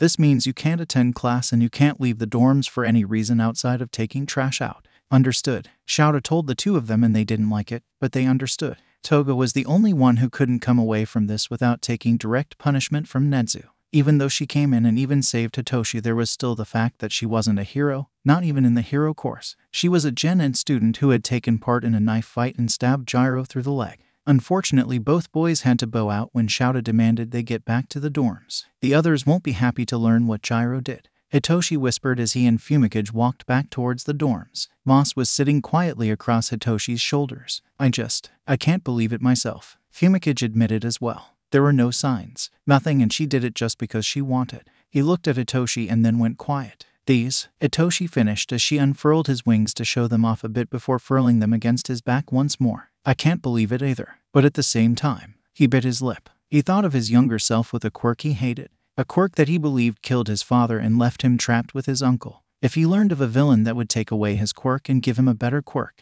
would he have done it? Risk everything and betray everyone just so he could have the possibility of having a better quirk? A part of me does see where maybe she's coming from. Hitoshi finally told Fumikage she wanted to be a hero, most likely a spotlight hero. I'm willing to bet she would have used the savage villains who stole her quirk for her backstory and how tough it was for her to get used to having wings. Fumikage only shook his head. But Nyes messed it up when he swapped the quirks. They made it to the dorms and both boys just looked at it before looking at each other. Let's just dot dot dot get this out of the way. Hitoshi whispered and Fumikage grabbed his hand. Let's. The others couldn't believe it when the information was finally relayed back to them about what had happened. Momo actually broke into tears upon hearing the news. Several people wanted to try and deny it, but the fact that Hitoshi and Tokoyami still had scars from the attack shut them up pretty quickly. They explained what happened in the gym and how Toga had come in and saved Hitoshi. Several students, those closest to Jiro, just couldn't believe it and Hitoshi spoke the truth. He couldn't believe it either. I just. Momo made herself a pack of tissues with her elbow and used the tissues to dab at her wet eyes. I just don't understand. She Momo shook her head as she gave a soft sob to the whole situation. There were no signs. She finally yelled. None at all. Even Monoma was pensive as he let his head hang and stared at the ground. It wasn't a fun night. Many tears and curse words were to be had. By the end, everyone just returned to their rooms. Things changed in 1A. It was hard to say if it was for the better or the worse, but things did change, and after this betrayal, they'll never be the same. Hitoshi sat on his bed with Fumikage sitting next to him. Neither of them really spoke as they just leaned against one another and sat in comfortable silence. Moss was asleep in his own bed tucked away against the wall. I'm glad Hitoshi started softly, which made Fumikage look at him. That you're okay. I was worried. Fumikage nodded. I was worried as well when I could hear the fighting. Dark Shadow was furious, as you saw. Hitoshi nodded along with Fumikage's words as he brought his knee up to his chest and let his other leg dangle off of his bed.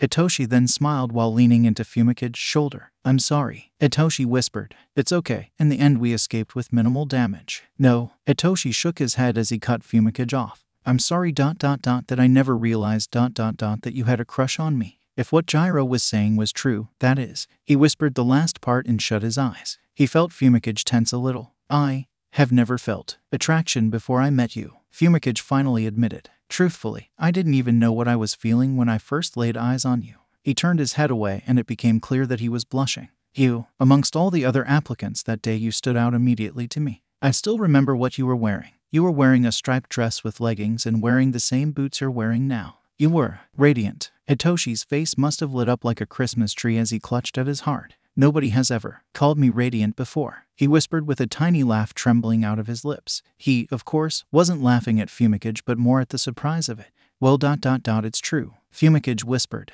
at least to me. Hitoshi leaned against Fumikage once more before he looked up at him and smiled. Do you want to dot dot dot try? He inquired. Try dating. That is, I won't lie to you, Hitoshi. I'm asexual. I'm not aromantic though. I'm okay with a relationship, but if you're looking for anything sexual, I'm not. Hitoshi admitted and brought both of his legs on the bed. Honestly, I never thought I'd ever be in a relationship. Period. I'm, I'm okay with no sex. He told Fumikage and this made Fumikage smile. But, I do need to ask, are you okay with kissing and cuddles? Or are you against them completely? I'm okay with physical contact, just not anything past a kiss. I think, I may have to see. It may be hard to believe, but outside of my own mother, I've never been kissed before. Same well, outside of the Fosters. I've gotten plenty of cheek kisses from them. Hitoshi blushed. But, there's no rush. None at all. Fumikage agreed with a nod and Hitoshi smiled as he rested against his friend boyfriend. This was going to be interesting, but he was ready. Moss helped Hitoshi clean the bathroom. An unfortunate part of his punishment was being forced to help clean the dorms. Fine, Hitoshi was up for the challenge. He was on his hands and knees scrubbing the bathroom floor with a damp cloth. The smell of disinfectant hung in the air and made Hitoshi's nose scrunch at the smell as it stung the inside of his nasal cavity. Moss had a cloth as well and was getting the harder to reach areas for Hitoshi. At least today is the last day of house arrest. Hitoshi sighed and pulled his mask down over his chin and looked at Moss. Moss nodded as he wiggled out from behind the sink and shook himself off. It seemed he agreed. Hello. Both Hitoshi and Moss turned towards Toshinori's voice as the man walked into the bathrooms. I, I, Hitoshi vocalized when Toshinori stepped on the tile. We just cleaned these floors. Moss meowed in the same tone as Hitoshi. Toshinori only smiled and took a few steps back so he was no longer touching the tile. He had a ramune in his hand. Apologies. I just heard about what happened and saw that you were working hard. I thought I'd offer you a soda. Toshinori said as he extended the ramune to Hitoshi. Moss sat up and watched with a head tilt. Oh, thank you. Hitoshi was rather grateful for the drink as he grabbed it. Upon a quick inspection, he saw it wasn't open, so he accepted the gift with a smile. He popped the marble down and took a greedy swig from the drink. Thank you. Of course, it's important that you stay hydrated. How are you? Toshinori inquired and leaned against the doorframe while watching Hitoshi clean up his rags. Hitoshi bunched the rags in one hand while taking another drink of his ramune. Okay as I can be, he told Toshinori. I mean, Jiro was my friend, you know. At least, I thought she was. He then turned away and took another drink. But, I guess it can only get better, right? Yeah, that's one way to look at it. What's going to happen to Jiro? Hitoshi asked as he leaned down and grabbed the bucket filled with dirty disinfectant water. The water sloshed a little and Hitoshi was quick to correct it before it spilled over. Toshinori gave a forlorn headshake. Jail was all he had to say about it and didn't go into any more detail so Hitoshi didn't press it. Instead, he drank more of his drink. Oh, that reminds me. Izuku, I got you some treats. Izuku's ears perked at the promise of a treat. Toshinori pulled out some cat treats that looked like temptations. Toshinori for a minute to cough and then he quickly wiped his hand over his mouth to remove any spittle. He then reached into the bag and tossed a couple of temptations near Izuku, knowing better than to approach him as the cat was still weary. Izuku sniffed the treats before eating them. Toshinori then waved at Hitoshi. Well, I need to go and talk to an old friend. I just thought I'd check up on you too. Toshinori said to the two of them with a wave divided by. Well, thank you, Hitoshi added while he finished the soda and tossed it into a nearby bin. The soda was nice. Toshinori gave him one final smile and then looked down at Izuku. Izuku flicked his ears at Toshinori and his gaze was on the verge of cautiousness while he stared at the man for several seconds. Young Izuku, I don't know if I ever said this yet, but I'm sorry, Toshinori finally said in a soft voice before he would turn and leave the bathroom before either of them could respond.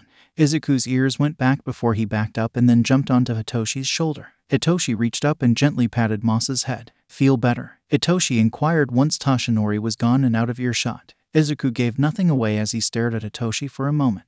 Then he turned his head away. Hitoshi missed the mind link and it appeared Izuku did as well. They were both quiet while Hitoshi cleaned up his remaining mess, washed the bucket out, and put the rags in the dirty laundry. Hitoshi walked back into his bedroom, and once through the door, he sat on his bed and placed Moss down beside him on the bed. Moss gave a soft mew and stepped into Hitoshi's lap, curling into a ball and laying there with his head on Hitoshi's knee. I'm going on a date with Fumikage this Friday, Hitoshi told his friend while he gently ran his fingers down Moss's head and spine. Moss leaned into Hitoshi's touch and just gave a soft purr. Hitoshi took this as acceptance before he gently scratched under Moss's chin. Moss's ears went back and he gave another loud purr at this, clearly loving the scritches he was receiving. I can't believe I'm going on a date. He whispered more to himself than to his cat. I never thought. I honestly never thought it was possible if I'm being completely fair. That nobody would ever dot dot dot see me the way Fumikage has seen me. He leaned back on his hands and gave a soft smile. It's going to be interesting for sure. So, I want you to be on your best behavior at the movies. Oh, I'm invited. Izuku thought with a bit of a smile on his own face. Just behave in the theater, all right. Izuku nodded and Hitoshi smiled before he pressed Izuku's face to his stomach and then leaned back on his hands. He then felt his wings give a tiny flutter before they furled back against his back. The two of them stayed pretty quiet before Hitoshi shut his eyes and just fell to his side against his pillows. He was pretty tired and a nap was calling him and Moss as well as his cat just curled up against his stomach in a ball. Yeah, a nap was what they needed after all of this madness. Hitoshi quietly ran the brush through his hair, sweeping his ponytail to the side to get the knots out with his brush. He still wasn't used to his hair being flat and not up in the air. He let his hair go and it splayed out against his neck. His hair was wavy and he quietly ran his fingers through it. Hitoshi looked at himself in the mirror and debated if he wanted his hair up in a ponytail or down. What do you think? He asked Moss after a while. I always wear it up in a ponytail to keep it off of my neck. He hummed as he mimicked putting his hair up into a high ponytail. I just wish it would go back to normal. He whispered the last part more to himself than to Moss. Hitoshi decided to down for now. It really was getting long after three years without a haircut. It was now gazing just past his shoulders. Hitoshi then stepped back and looked at himself in the full length mirror. Here he was, light makeup on his face to cover up his eye bags, in his first ever skirt, and cat hoodie crop top with his chunky heeled boots to give him extra height. He grasped his shoulders and looked back at Moss. Moss just gave him a simple nod despite him not asking the question. Moss was telling him that he looked fine. Hitoshi rubbed his hands together nervously. Ready? He asked Moss, and his cat just emerged from his bed, lapped at his fur for a moment, before approaching Hitoshi. Hitoshi put the service animal vest on Moss and then, for good measure, a leash. Hitoshi then went to open his door only to find Fumikage looking ready to knock. Hey, he greeted his friend and Fumikage cleared his throat.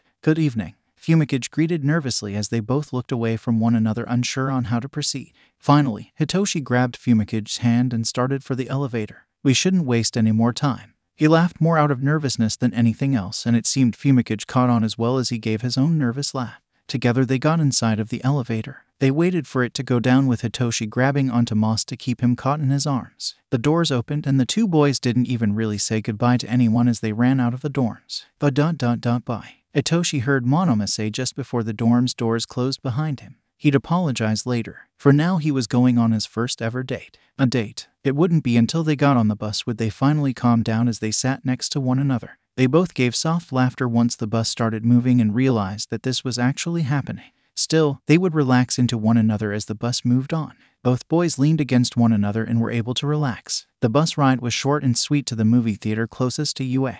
It stopped a block away, and the two boys got off. Moss was resting on Hitoshi's shoulder, keeping his owner's neck warm. What movie did you want to see? Fumikage asked as they walked towards the theater. HM. There's that latest horror movie. Hitoshi pointed out, and Fumikage sucked on his teeth nervously at that. You see, Dark Shadow doesn't take horror too well. I can handle it. Dark Shadow popped out of Fumikage's side with a chirp. I swear I can, Fumikage, she insisted. Um, Fumikage didn't seem so convinced. Are you worried she might go feral? Hitoshi inquired while they kept on walking. No, you know how she spooks, Fumikage explained. I can handle it. I swear, give me a chance. Dark Shadow continued to insist in a begging tone. This made Fumikage sigh in defeat. All right, don't make me regret it, Dark Shadow. Fumikage told his quirk as she moved around so she was now on his other side. This made Hitoshi smile as he took Fumikage's hand into his own and the two of them walked down the sidewalk. It really wouldn't be too much longer before they could see the theater. The movie theater was filled with people wanting to go and see the movies. It would take a few good minutes for them to get their tickets before they got inside the theater. They got their snacks, with Hitoshi buying some food for Moss as well as him. Girls actually cooed and approached as they spotted Moss sitting obediently on Hitoshi's shoulder. They did ask if they could pet him, but Hitoshi had to turn them down, explaining that Moss was on duty. They were dejected but respected his boundaries and moved on.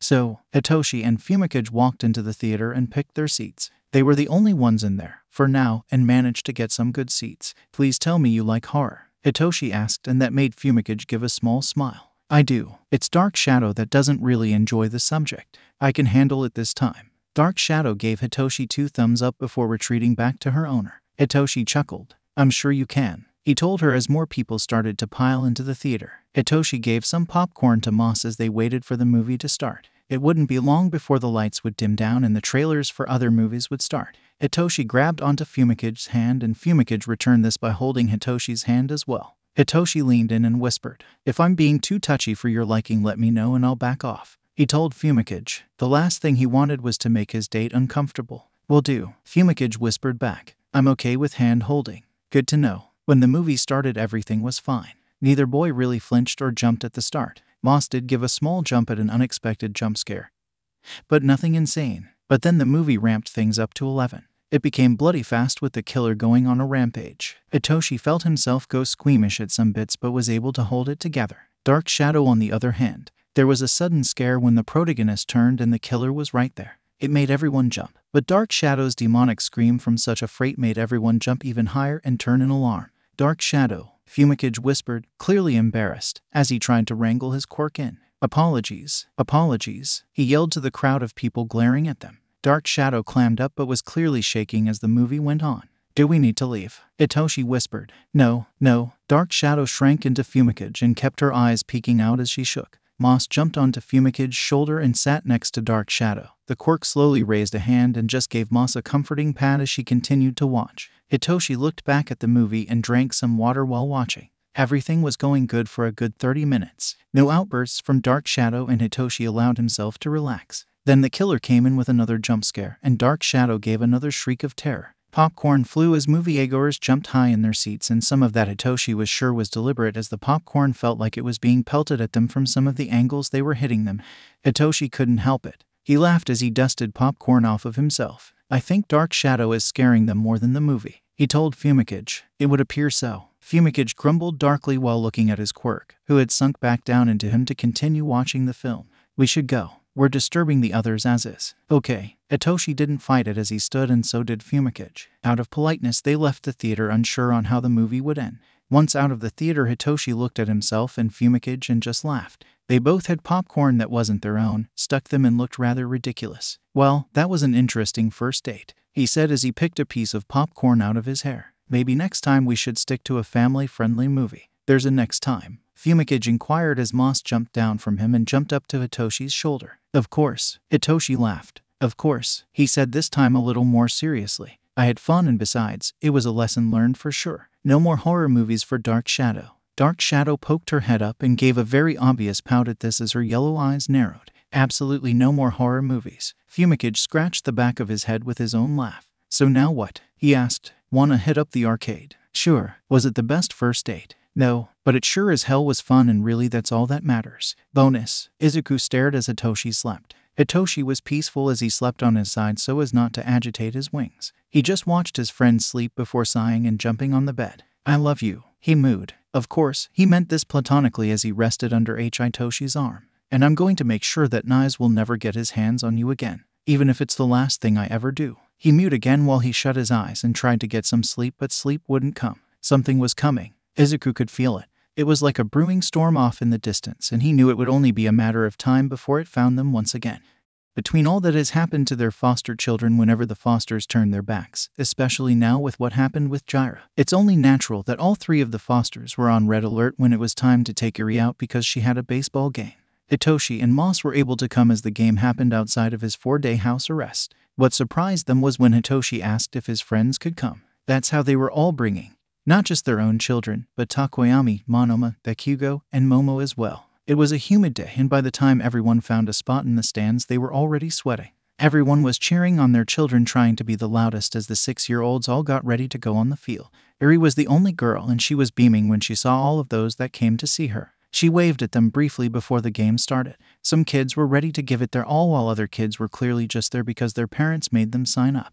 Those kids often sat in the grass picking at it rather than focusing on the game. Eri was not one of these kids as she was more than happy to be there and show off all she learned. Though, Shouta noted that sexism was rampant as he heard several people complain about her being able to be up to bat. Get the girl off the diamond. Boys only. One parent shouted, and that parent was directly below them. Eri either didn't hear or didn't care as she raised her bat and waited for the pitcher. Buo, a woman, also below them, jeered. Shouta debated giving each parent a good kick in the head for Eri, but kept his cool. The pitcher threw his ball and Eri swung. She missed, and that seemed to spur the adults on even more as more found it funny to boo a child. I'm going to scream. Hizashi hissed between gritted teeth as he tightened his hands into fists against his skirt. Don't, Shouta told him in a sharp tone. Oboro then leaned in. If he doesn't, I will. This is insane. She's just a kid. Don't. Shouta really had to put his foot down at Oboro's threat. Hizashi was one thing, but Oboro. Oh man, they didn't need the game to be cancelled because Oboro fogged the field up. Then the little brat of a pitcher aimed straight for Eri, not her bat, but right at her, and she was forced to duck to avoid the ball. The parents snickered at this and the referee did nothing.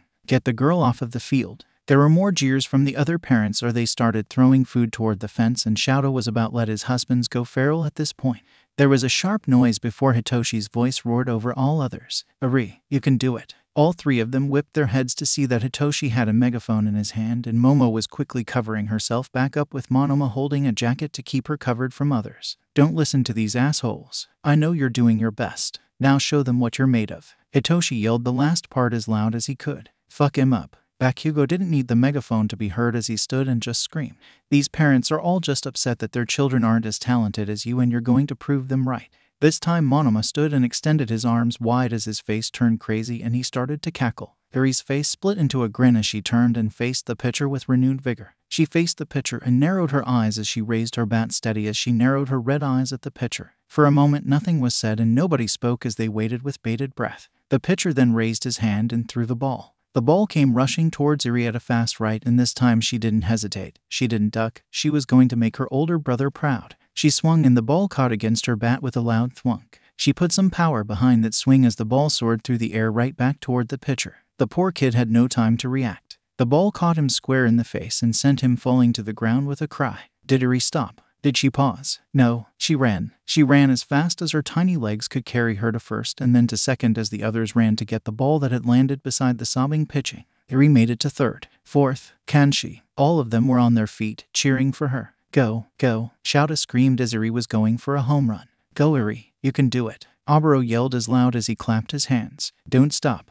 L-O-V-E-B-U-G. Run, Hizashi. Shouta turned his husband's quirk off as several people voiced complaints and had to cover their ears. The ball was being tossed around as they tried to stop Eri from getting to that final base. You can do it. Don't you dare stop. Go, Eri. Hitoshi screamed into the megaphone, and it was clear that Moss was joining in with his own yowling, cheering Eri on just the same. The ball was tossed to the person guarding the last base, but this little boy dropped it at the very last second and scrambled to get it. Safe. They all screamed in victory as Eri made the home run and scored a point for her team. The other parents all sent them nasty looks as they did this, but Shouta couldn't care less about them. The rest of the game went on with Eri's team coming out as the losers, but that was okay. Eri was still riding her high from being the only one on her team to get a home run, and even her team seemed to be okay with this loss. They still cheered and congratulated the other team. Eri ran to her family and had stars in her eyes as she was beaming. Did you see me? She asked as Oboro picked her up. We did, Oboro told her. You did amazing. Eri was grinning and Shouta patted her head gently. Good job. You rocked. Monoma told her and Hitoshi nodded along with him. Dark shadow popped out of Tokoyami. Congratulations, the quirk told her. Soon they were walking back to the cars in the parking lot. They passed by a snow cone vendor and Eri asked the question, Can I get a snow cone? She inquired while looking at the other snow cones that the kids were getting. Sure. Oboro didn't hesitate and then he looked at the others. Do you guys want one? He asked the other children and at first, no one stepped up. Then Momo did shyly. Can, can I get cherry? Please and thank you, she shyly bowed. Cherry, sure. And he looked at the others. Plum, Eri announced. Cola, Monoma asked. Tiger's blood, Bakugo grunted. Please. Lemon, thank you. Tokoyami bowed. Hitoshi thought about it for a moment as he looked over the flavors. Green tea, please. He decided and the Fosters nodded. Eri got hers first and was happily munching on the sidewalk. Hitoshi walked up to her and smiled. You did good out there. He told her and she smiled at him. I was a little nervous, I won't lie, but then I heard your voice and she just continued to smile as she took a bite. I knew I could do it. Hitoshi ruffled her hair, which had to be put into a ponytail for the game, and smiled back at her. For a moment, everything seemed perfect as the two siblings stood side by side. Eri raised her snow cone up. Want a bite? Well, who was Hitoshi to resist? He opened his mouth and she put a hand to his mouth, stopping him. Not you, Mossy. Uh, Hitoshi could hear Izuku laughing as he took a happy bite out of Eri's snow cone. There was the sound of squealing tires, and everything felt like it was moving in slow motion as Hitoshi moved his head to see what was happening. A van was gunning for the field and showed no sign of stopping as it was coming right for them. Hitoshi reacted on pure instinct as he pushed Eri back and threw himself away from her to create space between them so the van wouldn't hit either of them. Moss, who was standing at this point, was unfortunately lurched forward by this sudden movement and went flying towards the middle. He couldn't dodge as the van struck him and he flew over the hood and struck the windshield. The world seemed to move at normal speed the moment Hitoshi hit the ground. There were screams and cries of terror. Hitoshi had fallen to his side and was dazed as he saw the van come to an abrupt halt. The world spun for Hitoshi as he heard Eri's scream of terror. Or was it pain? Had he not been fast enough? Was she run over? Daddy, Daddy, help me. Hitoshi sucked in several deep breaths as he was grabbed by several hands. He thought, at first, that it was someone helping him up. He saw people fleeing in terror for their own cars as they rushed by. The hands weren't gentle as they hauled Hitoshi to his feet, and he realized why when the door to the van was thrown open and Hitoshi was looking in the familiar eyes of the man that he had brainwashed in the hospital. The man with the bird mask. The man who had Eri in a tight headlock. Hitoshi was then thrown into the van just the same. Daddy, Eri screamed at the top of her lungs as she struggled against the man. What was his name again? It didn't matter. The doors were shut behind Hitoshi, and Hitoshi realized fearfully that he was at this guy's mercy as the van took off with squealing wheels. There was nothing in this van that could be used as a weapon. It was completely barren, and Hitoshi had a feeling it was meant to be that way. This man tightened his grip on Eri as he glared at Hitoshi. I don't know about you, but she doesn't exactly look dead to me. The man told Hitoshi with no emotion, and Hitoshi gulped. But you, you will be, very soon. Hitoshi gnashed his teeth as he stared at the man, the man that was now reaching for him with his hand open, the hand that didn't have a glove on. Hitoshi felt like the man was moving in slow motion as his eyes went wide. Eri came to Hitoshi's rescue. The little girl let out a war cry and then used all of her weight to stomp on the man's ankle and send him to the ground with a cry of alarm. Don't hurt my brother, she roared, which brought Hitoshi back to the present. With his own war cry, Hitoshi used his wings to propel himself up and kicked the man right in the chest, sending him flying back into the doors and let Eri go. Hitoshi grabbed onto Eri and picked her up. The van came to an abrupt stop and Hitoshi gasped when he fell to the ground. He reacted by putting a hand on Eri's head to protect her. There was a roar that bellowed from outside. It was unmistakably Dark Shadow and only added when she yelled, Let them go. The wheels of the tires were squealing as they struggled to fight against whatever had a hold on them. There was a growl, and both Eri and Hitoshi turned to see the man getting up. Give her back to me. He then tried to charge. Hitoshi jumped back just in time, making the man smash his shoulder into the wall of the van, separating the drivers and the back. Hitoshi had very limited space as he slammed himself and Eri into the back doors. Hitoshi kept his grip on her tight as they both stared at the man waiting for his next move. Hitoshi immediately tried the doors, but as he figured and feared they were locked. Hitoshi gnashed his teeth while keeping Eri tight in his grip. Eri was whimpering as she clutched to Hitoshi for dear life. Don't let him take me. I don't want to go back. She whimpered to Hitoshi while shaking.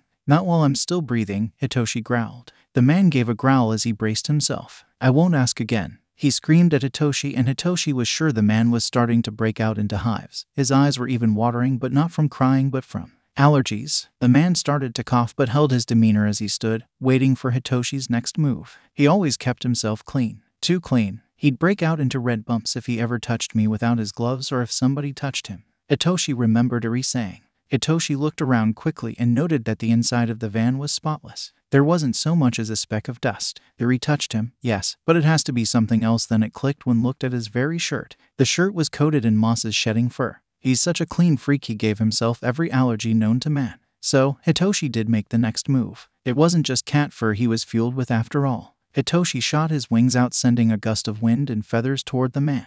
The man braced himself and even grunted in pain when one of Hitoshi's white and black feathers touched the uncovered part of his face. The van lurched, and it became clear that the grip Dark Shadow had was starting to slip. There was a scream coming from the front of the van before the van lurched again. I have to act fast. If they manage to take off, then it may already be too late. Hitoshi put Eri down.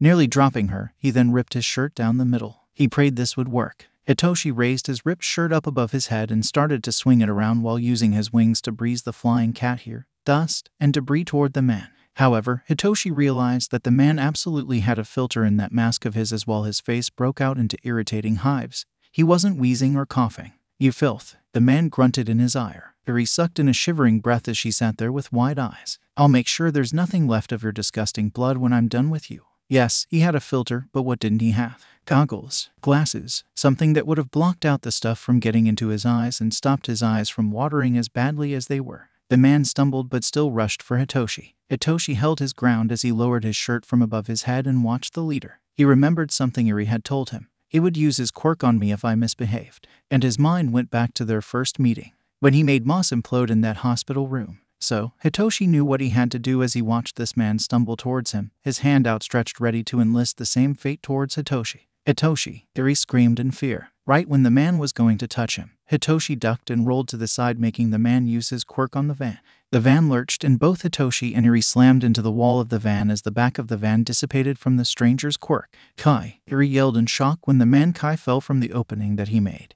And the van just continued to take off as it wasn't the engine that got destroyed. But it actually wouldn't be for far. There was a sudden explosion and the van nearly topped over, sending Hitoshi and Eri slamming into the side. The van came to a halt and stalled completely. Kai slammed into the ground and sat up as the van took off at full speed. Kai scrambled but was promptly stopped when Dark Shadow caught him in her grip. She held him up under his arms like a toddler and roared in his face. Not my friends. Hold on to me, Hitoshi ordered as he picked Eri up. She wrapped her arms around his neck. He charged forward and jumped once he reached the edge. He extended his wings out and flew into the air. He stayed in the air and watched as Dark Shadow slammed Kai into the ground before picking him up and slamming into the ground again and again and again. There was a fog in the area. Hitoshi watched as Oboro made quick work of encasing these men, the ones in Plague Doctor masks, with his clouds. Shouta was currently stomping on one man with fervent and unbridled rage. Momo and Monoma were the ones who stopped the van. It was clear that Momo had made a cannon that girl did love her cannons, and Monoma had copied her quirk to make the ammo for said cannon.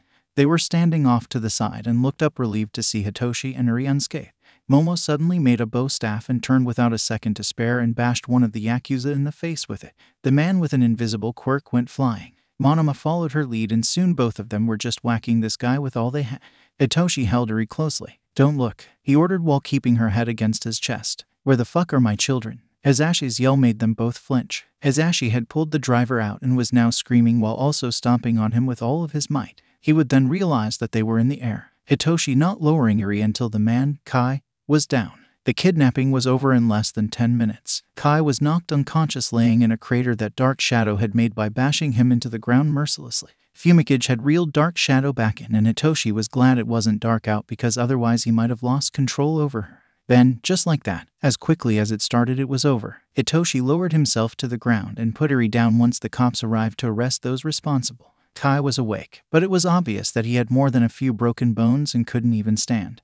But he could talk. I'll get her back, he rasped. If it's the last thing I ever do, I wouldn't count on that. Shouta hissed as he and the other Fosters surrounded Eri and Hitoshi. These are our children. Yeah, Eri puffed her chest out through teary eyes. I have three daddies who will protect me and the best big brother in the world. How many do you have? That's right, none, because your daddy is in a coma. Hitoshi put his hand to his mouth to stifle his laughter and was clear the others did as well. Kai's face twisted in anger, and try as he might, there was nothing he could do as he was injected with quirk suppressants. This isn't over, he warned before the ambulance doors shut and he was driven off. Everyone gave a sigh, and Hitoshi looked around once he realized something. Where's Bakugo? He asked while looking past the people, the trashed field, and all the cops. Everyone picked up on this as well and looked around the same, trying to find where the blonde had vanished to. It was Shouta who found him when he said a soft oh no. Hitoshi then saw Bakugo. Bakugo was on his knees in the parking lot and he had something in his arms. Something green. Shit. Hitoshi went to go but Shouta stopped him.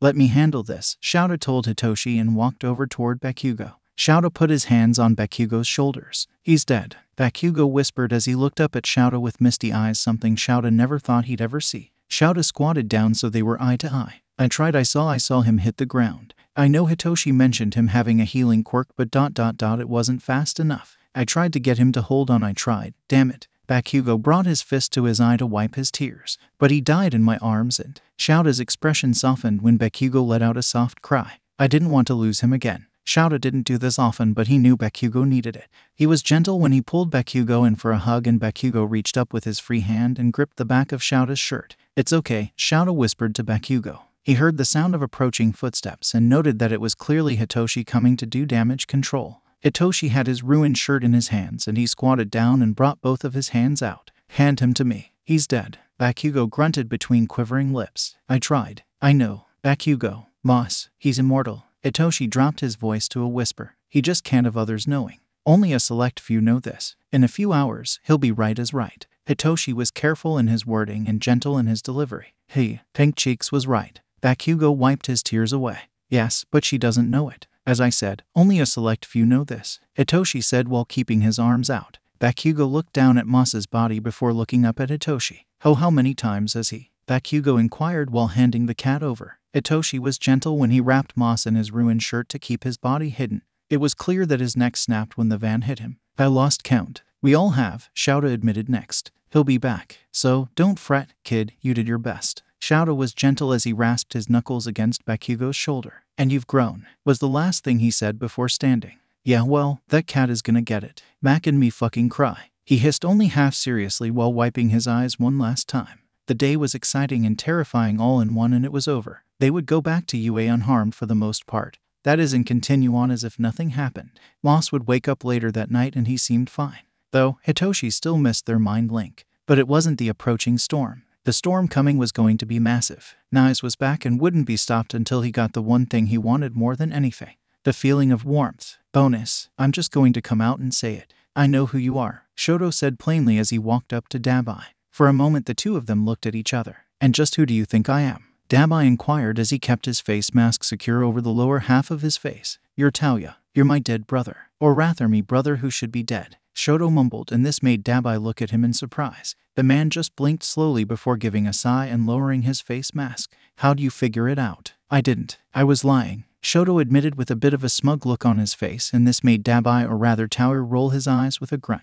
Well, you got what you wanted. You figured me out. What are you gonna do next? Go to Natsuo or Fuyumi about this discovery. No, Shoto admitted as he looked away from Touya.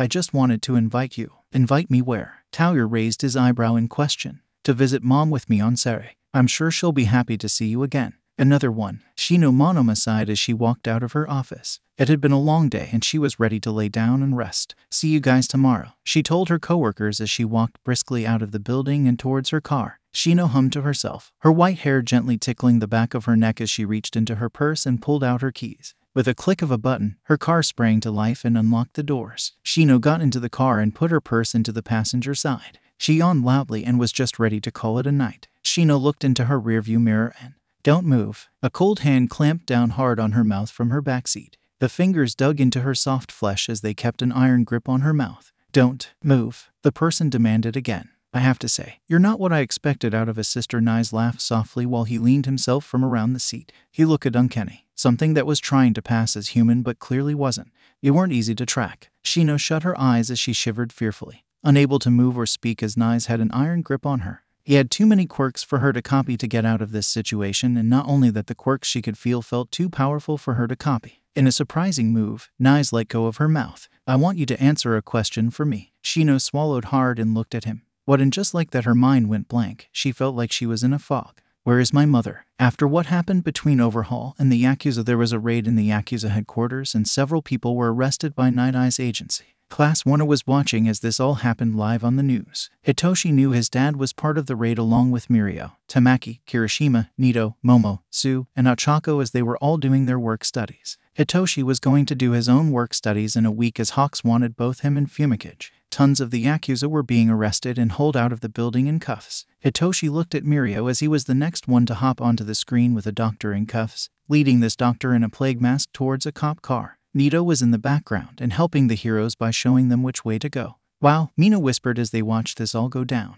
Who knew the Yakuza was this big? There was a chorus of others shaking their heads and agreeing with her. Moss was laying down clearly asleep in Bakugo's lap. Hitoshi couldn't help himself. He leaned down and gently stroked Moss's head and down his back. Moss woke with a loud MRPP. Before gently licking Hitoshi's fingers that were by his mouth, his tongue scratchy against Hitoshi's skin. Then Hitoshi's trust was betrayed when Moss bit him. Hey hey, Hitoshi yelled when Moss was quick to entrap his wrist, digging his claws into Hitoshi's hand, and Rabbit kicking him while biting him. M. Moss, Hitoshi gasped as he struggled against his cat. Moss paused, his ears twitching as he narrowed his eyes at Hitoshi. Then he finally let Hitoshi go and shook his pelt off. Moss then jumped on Bakugo's shoulder. Fat ass. Bakugo grunted as he had to make sure he was steady while he swayed a bit. Moss, clearly not happy at being woken from his catnap, proceeded to kick Bakugo in the face. Not once, not twice, but three times in rapid fire. There was a silence as everyone watched in horror. Even Hitoshi couldn't believe Moss did that. Bakugo looked at Moss out of the corner of his wide eyes. I'm going to kill you. Bakugo roared and Moss was quick to jump off of Bakugo's shoulder. Thus the chase began. Bakugo was no match for Izuku as the cat was much more stealthy and able to turn sharper corners than he could. Bakugo didn't use his quirk in his dorms. He wasn't allowed to so he had to give chase on foot. Denki was grinning as he brought his phone up and started to film the chance. This is totally going on YouTube. He whispered just loud enough for Hitoshi to hear. Mina was grinning devilishly as she brought her own phone out and started to film the same as Denki. Bakugo and Moss ran through the common room with Moss jumping on the furniture to evade Bakugo. Moss jumped on one of the bar stools, and the stool spins with this movement, making him spin a circle for a moment. He then jumped back down just in the nick of time as Bakugo nearly barreled over the stool. Moss rushed on the coffee table, then to the couch. And then he jumped as high as he could, where he managed to get to the ceiling fan that was thankfully off. Then there was just silence as Moss slowly turned with the fan and stared down at the others as he did this. Bah! Bakugo waved the cat off from his spot on the floor, now giving up his retribution. He put his hands on his hips and just shook his head. Your ass is so fat the blade is bending, Bakugo told him. Moss gave a hiss at this, and Hitoshi knew exactly what his friend was saying at this moment.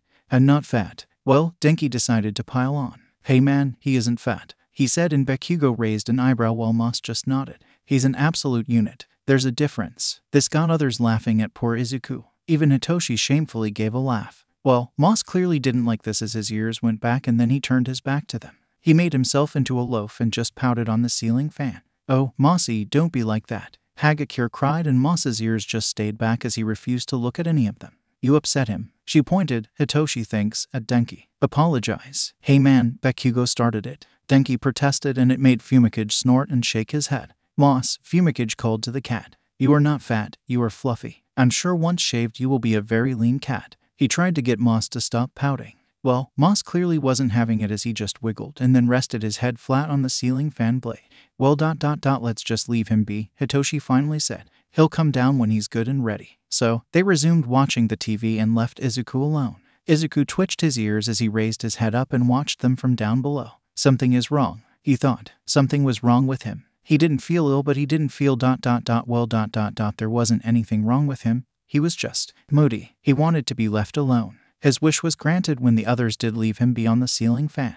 Izuku wiggled and got himself comfortable on that fan blade and then exhaled slowly. Nice is planning something. I can feel it deep into my bones, but what? Izuku didn't know and he knew that was causing a bunch of undue stress. He hated sitting around and waiting for Nice's next move. With a sigh, he shut his eyes and rested his head on the fan blade again. It wouldn't be long until he took a nap on the fan blade, allowing himself some respite on the fan blade, and he just prayed nobody would turn it on while he slept. Izuku watched as a butterfly floated by him before landing on his nose. The butterfly was green, and when it landed, it fluttered its wings on his nose a few times. It made Izuku smile even when the butterfly flew away. He reached up with a paw as he watched the butterfly flee. Then, there was a loud creaking noise making Izuku turn from the rooftop. The door was open and Yoichi was staring at him. Izuku and Yoichi looked at one another and there was a pause between them. Is it really you? Or are you nice? Izuku inquired. It's me. How can I be sure? Yoichi looked confused by Izuku's question before he just slapped his arms to the side. I don't exactly have an ID. In the afterlife, Yoichi joked, and that made Izuku smile a tad before he padded up to his uncle and rubbed against his legs. What happened? Izuku asked as Yoichi bent down to pick him up.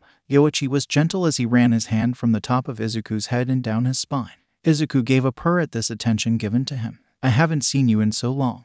Yoichi shook his head as he started to walk down the steps toward where they last spoke. The throne room. The first time, I believe, was because of Nice's connection with All for One. Thus, having a connection with us because you and Nice have a connection allowed us to join, if only momentarily, as it's hard for us to connect with outsiders. We weren't able to replicate it again until recently. Oh God, I swear to God. Did Toshinori give me or Hitoshi one for all? Izuku whispered as his eyes went wide. No, he went with someone else. Someone who also has a connection with All for One as well as you, just not as intense as Hitoshi's connection. Izuku blinked at Yoichi's words as they made it toward the end of the steps. Someone else. Who? His question would be answered seconds later when Neito seemed to step out of the shadows and into the center of the throne room. Surprised, Neito inquired as he made a grand gesture of sorts. Neito. Izuku gasped, his mouth opened and his jaw on the floor. Izuku. Neito dipped his head and Izuku's jaw dropped even more if possible. Oh, don't give me that. Neito shut Izuku's mouth for him. You and Hitoshi weren't exactly subtle. But dot dot dot how? Izuku whispered while he jumped on Yoichi's shoulder. How do you figure it out? Well, like I said, you and Hitoshi weren't subtle, but I've heard him call you Izuku on more than one occasion. Not only that, but my mom has been looking into Nice and had a picture of you Izuku up. It's the eyes, Neito explained to him as he reached up and then gently stroked Izuku's head and scratched him behind the ear. Izuku looked at Neito in disbelief. Why is your mother looking into Nice? Because she's aware of him. She knows he's planning something and she's been talking to some interesting characters in order to gain as much information as she can. This includes All Might and a certain vigilante that Hitoshi had a run in with during his internship. After internships and the dorms were added, my mother involved herself because she figured that Hitoshi wasn't the only one in danger. He continued to explain while he scratched under Izuku's chin and made Izuku purr. Izuku listened to his words, and it actually made a bit of sense considering all that happened.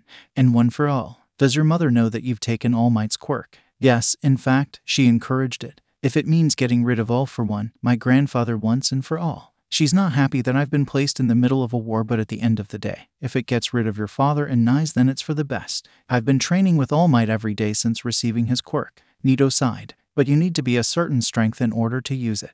Neito nodded. We've come to an understanding. All Might and I received the quirk, but can't use it until I'm at a reasonable strength. Why were you even given it? That's dangerous. Because Yoichi held Izuku under his rump and kept us close. We needed to talk to you about Naiz and All for One. After this talk, Neito will return one for all back to All Might and one receive it again until he's of needed strength. Now, last we spoke, you mentioned Naiz having a connection to your mind. Yeah, because he's you. Yes and no, Izuku explained. He's my body, but he's not me. He just thinks he's me. Regardless, he's grown stronger. Because he took Hitoshi's quirk, he now has access to purgatory. Izuku started to explain. The roof up there, in case you were wondering. Yoichi nodded. Has he attacked you? Yes, he's figured out more than just to attack me. When I'm here, I'm vulnerable. This is where I go when I heal if he kills me here. I don't think I'll come back to my physical body. Izuku whispered while shaking his head slowly. Neito shut his eyes and thought for a moment. I see. Neito whispered. Is there anything else? Is there anyone he may be planning on attacking? Izuku shook his head. I don't know. Izuku, did you ever think that maybe you could see into Naiz's eyes? I mean, if he could see through yours, then you could probably do the vice versa. Yoichi inquired as he moved Izuku up so they were eye to eye. I never really thought to do that. He admitted to Yoichi in a soft voice. I usually try and keep my distance from Naiz and don't even know where he resides. Neito gave a hum at this. He then sighed and patted Izuku's head. While I can't tell you what to do, I do want to say this. If we know what Naiz is planning, we can stop him. How? I lost my only communication with humans. I mean, I can write, but it's hard when you don't have thumbs. And he raised his paws up to show Neito the obvious fact that he, a cat, didn't have thumbs. The last time I wrote to communicate, I got lucky because Aizawa was there and all I had to do was write Naiz's name. There was some silence between them as they thought about their next move. How about we get the support department to make you a translator? You are in the hero course. After all, they technically can't refuse. Neito grinned as said this, and it made Izuku's ears twitch. That's a good idea, but I can't bring it up to Hitoshi to do so. Neito did give a little frown at this, realizing the predicament he's in. I'll bring it up in passing. Make it seem like it was his idea then. Izuku nodded, liking the idea. He then turned to look at his uncle. Yoichi gave a nod as well. For now, we just want you both to be on the lookout. Izuku, keep your eyes on your dreams from here on out. No doubt Naiz is growing more active these couple of days, and we need to know what he's doing. I've never met a Nomu as powerful and as scary as he is. Izuku nodded. Heard. Good. Neito, you know what to do next. Be careful because the embers of One for All will still be inside of you for a while. Understood. Neito nodded the same as Izuku. Both of you and Izuku Izuku perked his ears up at Yoichi's warning tone as his uncle put him down on the ground. No matter what Naiz offers you, do not agree. If he gets his hands on your quirk, he'll be unstoppable, and we can't have that. He's already powerful enough for concern. Yoichi warned him, and Izuku nodded in understanding. I will never let him have this quirk of mine. Good. Now, both of you go and forget this ever happened for now. Izuku woke with his ears twitching. He looked at the dusty ceiling fan before looking down below. He hadn't been out for long as the others were still in the common room and watching the TV. Izuku yawned and then stretched himself out before he jumped down from the ceiling and onto the couch. This made those sitting on the couch denki.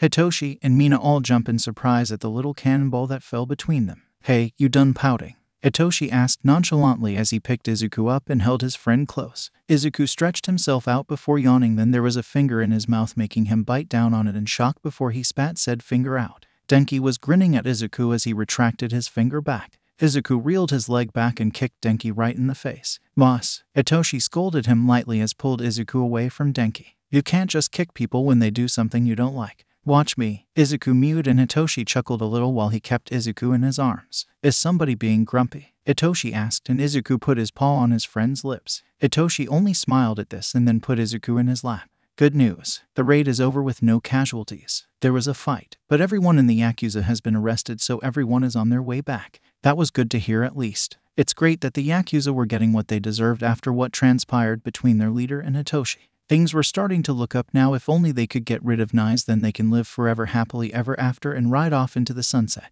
At least that was a plan for now. Fumikage walked behind Hitoshi and gently touched his shoulder before patting Moss. Izuku watched as Hitoshi followed his boyfriend's retreating figure with happiness in his eyes. Izuku was happy. He doesn't need you anymore. You know that right. He no longer needs you to protect him. He learned how to work his wings by himself. He fought against the leader of a Yakuza while you were dying. He's stronger now than ever before and it shows. Izuku sighed and looked down at his paws before laying in Hitoshi's lap. Hitoshi gently ran his hand down Izuku's spine and scratched the sides of his face the way Izuku enjoys. Izuku looked up at Hitoshi and it was that moment that he was reminded of something painful. Nothing ever lasts forever, not even him. One day Izuku will eventually run out of lives for this body. He knew he became dangerously close during the USJ. When that day comes and he loses this body, he may not even be reborn in Japan. He may be reborn in America or Othean. He may not even be a cat or a human. He could be a worm. Still, while he lay in Hitoshi's lap, Izuku will just be happy he was here for now. Whatever his next life maybe should be for a while yet. The next day, Neito did as he said. You know, if he's such a smart cat, you should consider getting him a translator. So you wouldn't have to guess what he wants, you know. Neito told Hitoshi as the two of them got ready to go for a jog together. A translator, Hitoshi asked while he stretched himself out. Do they make those? I mean, I know anything is possible in the day and age of quirks, but hard to say. Neito stretched one leg behind him before doing the same to the next leg. I bet you could ask the support course he then took off in a jog. Moss is a hero course student after all. He called behind him and Hitoshi took off after him looking rather thoughtful. Well, the plan worked because, after class and training, Hitoshi picked Moss up from outside of Nezu's office and marched him right to the lab. Hitoshi hardly touched the door when an explosion rang out and he was knocked off of his feet with a body pressed against him and boobs right in his face. Hey, Hatsume, he greeted her as she looked down at him. She was covered in soot. Oh, oh hey, long time no see. She then graciously got off him and got her boobs out of his face. She lifted her goggles up and over in her head as she grinned at him. How can I help you? No, wait, I can guess. She looked him over and then snapped her fingers and pointed finger guns at him. You need an undersuit for wind burn. No, oh, he thought about it before shaking his head. I'm not here on my account, actually. She tossed her tongue at this and shook her head. Ah, sorry, buddy, rules are rules. If you're not the hero, I can't make any modifications to the person's outfit unless you're a teacher, of course. Well, you see, it's not for me. It's for O. Moss jumped up on Hitoshi's shoulder and stared at Hatsume. Moss, Hatsume blinked. You need support gear for you dot dot dot cat. She asked slowly like she didn't understand the assignment. Then she grinned like all of her dreams just came true at that exact moment. Well, you came to the right person. What do you need? Battle armor. No. Oh, I got it. You want goggles. Goggles that are like my quirk and help enhance his vision. No. Hatsume rubbed downwards on her neck as she thought about it for a moment, then she snapped her fingers. You need him to have a heat seeking. No. Erg. Hatsume threw her arms up and Hitoshi giggled. We would like a translator, if possible. A translator. I see you want to know what he says, but is he really that smart? Don't get me wrong. I've heard all about your wickedly smart cat. But is it worth the time, effort, and supplies to make a translator? I dunno, Moss. What do you think? Hitoshi asked as he held Moss out in front of him so Moss was now in front of Hatsume. Moss only nodded very clearly what he wanted. Oh, wow, Hatsume grinned as she picked Moss up from under his arms and held him at arm's length. You dot dot dot are a beauty, my friend. All right, I'll make an exception. The cat will have his own support gear. Give me a week. It's possible. Hitoshi took Moss back. To actually make a translator, Hatsume winked at him before poking his nose. Anything is possible as long as I put my mind to it. She told him confidently. Hatsume, what did you do? Came her teacher's yell. The man no doubt saw the new hole and where the door used to be. A week, she yelled to Hitoshi before rushing away. Hitoshi smiled as he looked at Izuku. Well, I'm surprised we didn't think of this sooner. He told Izuku as he let his cat back on his shoulder. Izuku only nodded in agreement as he sat. Off they went, glad they could eventually have conversations again. Hitoshi stretched his arms above his head as he walked by Todoroki,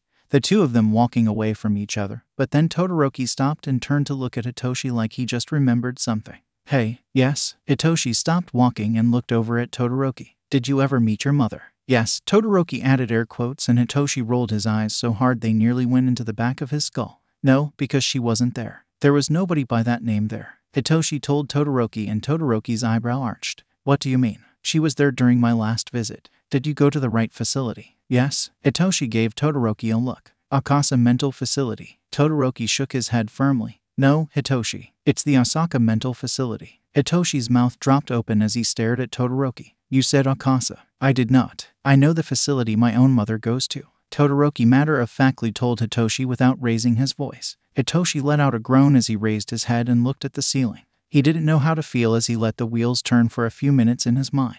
Are you still planning on seeing your mother on Saturday? Hitoshi finally asked as he looked back at Todoroki. Todoroki nodded. Yeah, I'm bringing Touya with me. He's nervous and truthfully dot dot dot so am I this is the first time he'll be seeing our mother for the first time since he was. It doesn't matter. But yeah, I am. Hitoshi put his hands in his pockets. Got room for two more. Moss and I. Hitoshi raised two fingers up as he inquired. There was no way he wasn't going to have Moss with him for this. Hitoshi was going to need his bestie for this. Todoroki put his hands in his own pockets before as he thought about it. Touya is going to be the one driving. I know Toga will be with us as well. Why? Hitoshi inquired while narrowing his eyes. Is she related to you? No. Does she have family there? Not that I'm aware of. Is there any reason she wants to come to a mental facility with us? Touya invited her. Hitoshi snorted at that. I see. I guess I'm not the only one who needs emotional support, bestie. He then rubbed the back of his head with a soft sigh. So, can I come? Todoroki shut his eyes and thought about it again. There should be room.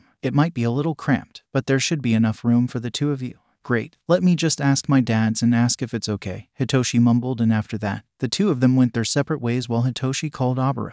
He knew Shadow would be on patrol, and Hizashi was undoubtedly about to start his radio show. Hitoshi walked back to his room and Moss, who had been taking a cat nap moments prior, perked and gave a happy mew when Hitoshi entered his dorm room. Hitoshi had his phone to his cheek and heard it ring once, twice, three times. Yes, the light of my life. I thought your husbands were the light of your life. Of course, but they aren't here, Oboro said, and Hitoshi could feel his smile. Hitoshi smiled back and sat down at his bed where Moss would join him by jumping up beside him. So, I'm just going to come out and say it. I think I may have messed up. Hitoshi said, though it sounded like a question. Remember how I thought I found my mom?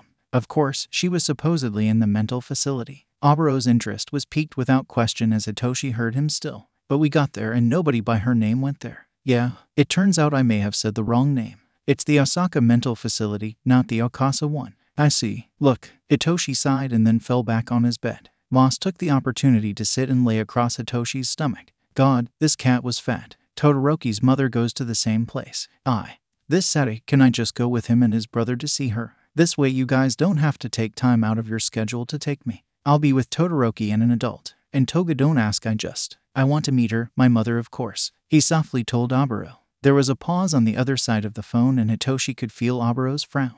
I, I won't lie, Hitoshi. I don't like the idea of you being without an adult. I know you have your license, and I know you're strong, but the thing is you. You have Nais after you. I know, I know. I'd just feel a little safer if you had one of us with you. Let me talk to the others, okay? It's not a no, it's just not a yes yet. Yeah, I understand. Hitoshi felt himself frown a bit but still looked up at his ceiling while Moss rubbed his head against Hitoshi's stomach. You'll have your answer before Saturday. I can at least promise you that. Oboro promised, and it made Hitoshi smile before nodding. Yeah, I understand. I'm not mad, and if you can't do it, I understand. Yeah, talk to you later. Bye. Hitoshi then hung up and with a heavy sigh escaping his lips.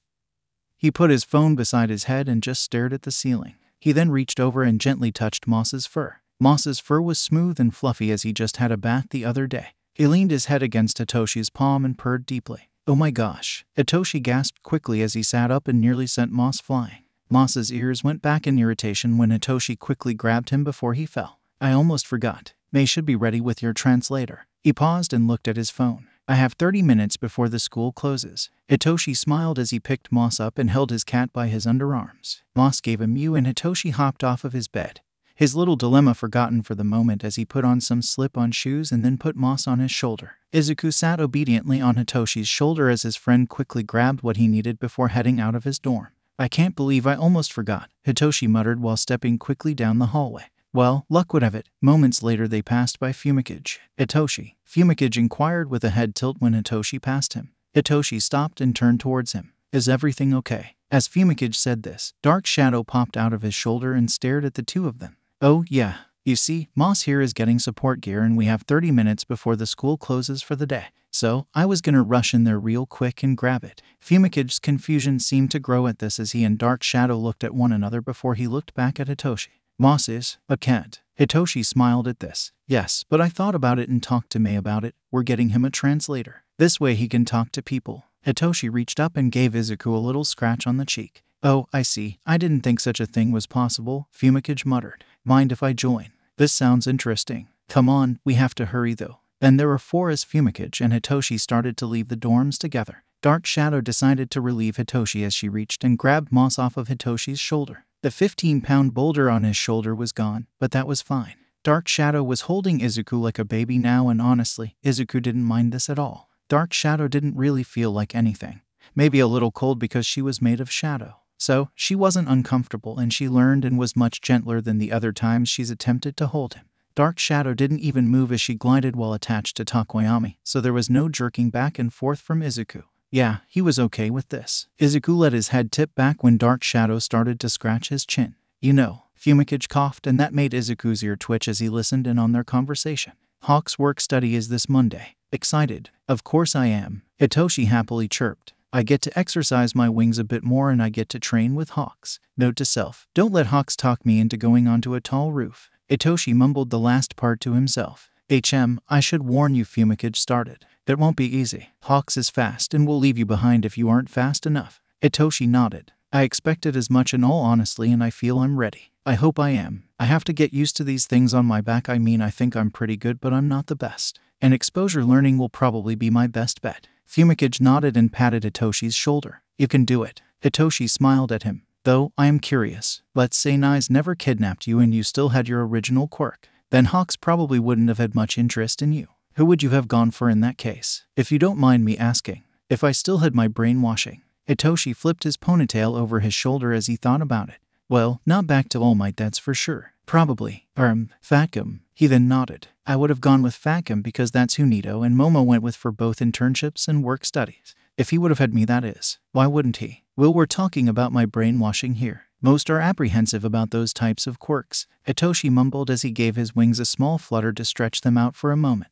While I do miss my brainwashing, a lot, at the same time I do feel. He looked back at his snowy owl wings and gave a soft sigh. I dunno, he admitted while his wings drooped slightly. Fumikage patted Hitoshi's shoulder. I get it. That was all he had to say in a reassuring voice, and Hitoshi smiled at his boyfriend. Izuku lowered his ears back down and stopped eavesdropping as they were approaching UA. Fumikage opened the door for Hitoshi, and the two of them stepped into the air conditioning, away from the humidity. They breezed up to the support lab within minutes. Hitoshi was much more cautious this time around. As he approached the door, he made sure Fumikage was away from it while he fluttered himself off of the ground a bit in case he needed to fly away from any explosions. Thankfully, there were none this time around. He opened the door and was grabbed by Mei instantly and hauled inside. Good, you're here and right on time. Mei yelled as she put Hitoshi on the ground with ease. Fumikage and Dark Shadow came in moments later. She looked for a moment before spotting Izuku in Dark Shadow's arms. Mei wasted no time snatching Izuku from the quirk and holding him by his underarms and in the air. You're going to love this baby I made, she told Izuku proudly. Izuku noted that it looked like she hadn't slept for some time now. Her dreads were all over the place and she was coated in dirt and soot. Her odor was less than ideal as well. Mei put Izuku down on a table where the others crowded around. Ta-da, she announced and presented Izuku with the translator. It dot dot dot was just a thick black collar. Well, no, it wasn't. She hit buttons on the sides and the collar opened with a mechanical snap. Izuku stared at it as the side lit up bright orange, then she snapped it around his neck with ease. Then, with no warning, it sprang to life around him and started to cage around his mouth. It wasn't a collar, it was a muzzle. The thing wrapped around his head to stay in place. Panic surged through Izuku in an instant. Izuku didn't like collars, much less muzzles, and instantly he dropped to the ground and tried to get it off of his neck. He fell to his back and tried to put his hind leg under it to push it off. Get it off, he demanded with a yowl while he thrashed along the table. Moss, Hitoshi, get it off, Izuku demanded while he fought with this thing around his neck. Oh my goddess, Mei breathed as her eyes lit up. Hitoshi, Izuku demanded again. Get it off me. Momo Mas, Hitoshi yelled as he grabbed Izuku quickly around the middle to get him to calm down. It's okay, Hitoshi quickly pressed Izuku against his chest. It's not. It's a muzzle. A muzzle. Moss, it's not a muzzle. Have you gone blind? It, it. Izuku blinked when finally the noise hit his ears. It was electronic and kinda tinny sounding, but he could hear it. He looked at Hitoshi. Then at Mei, who had both of her hands clasped together with the tips of her fingers against her mouth and then at Fumikage and Dark Shadow, who stared at him with wide eyes. Izuku looked at the muzzle and realized it wasn't a muzzle well, it kind of was. But it actually grates wrapped around his muzzle and covering his entire mouth, but it obviously wasn't made to silence him. Hitoshi, he mewed and an electronic voice echoed this back. He could kinda see it if he focused. The tiny mechanisms worked inside of the grates to translate what he was saying.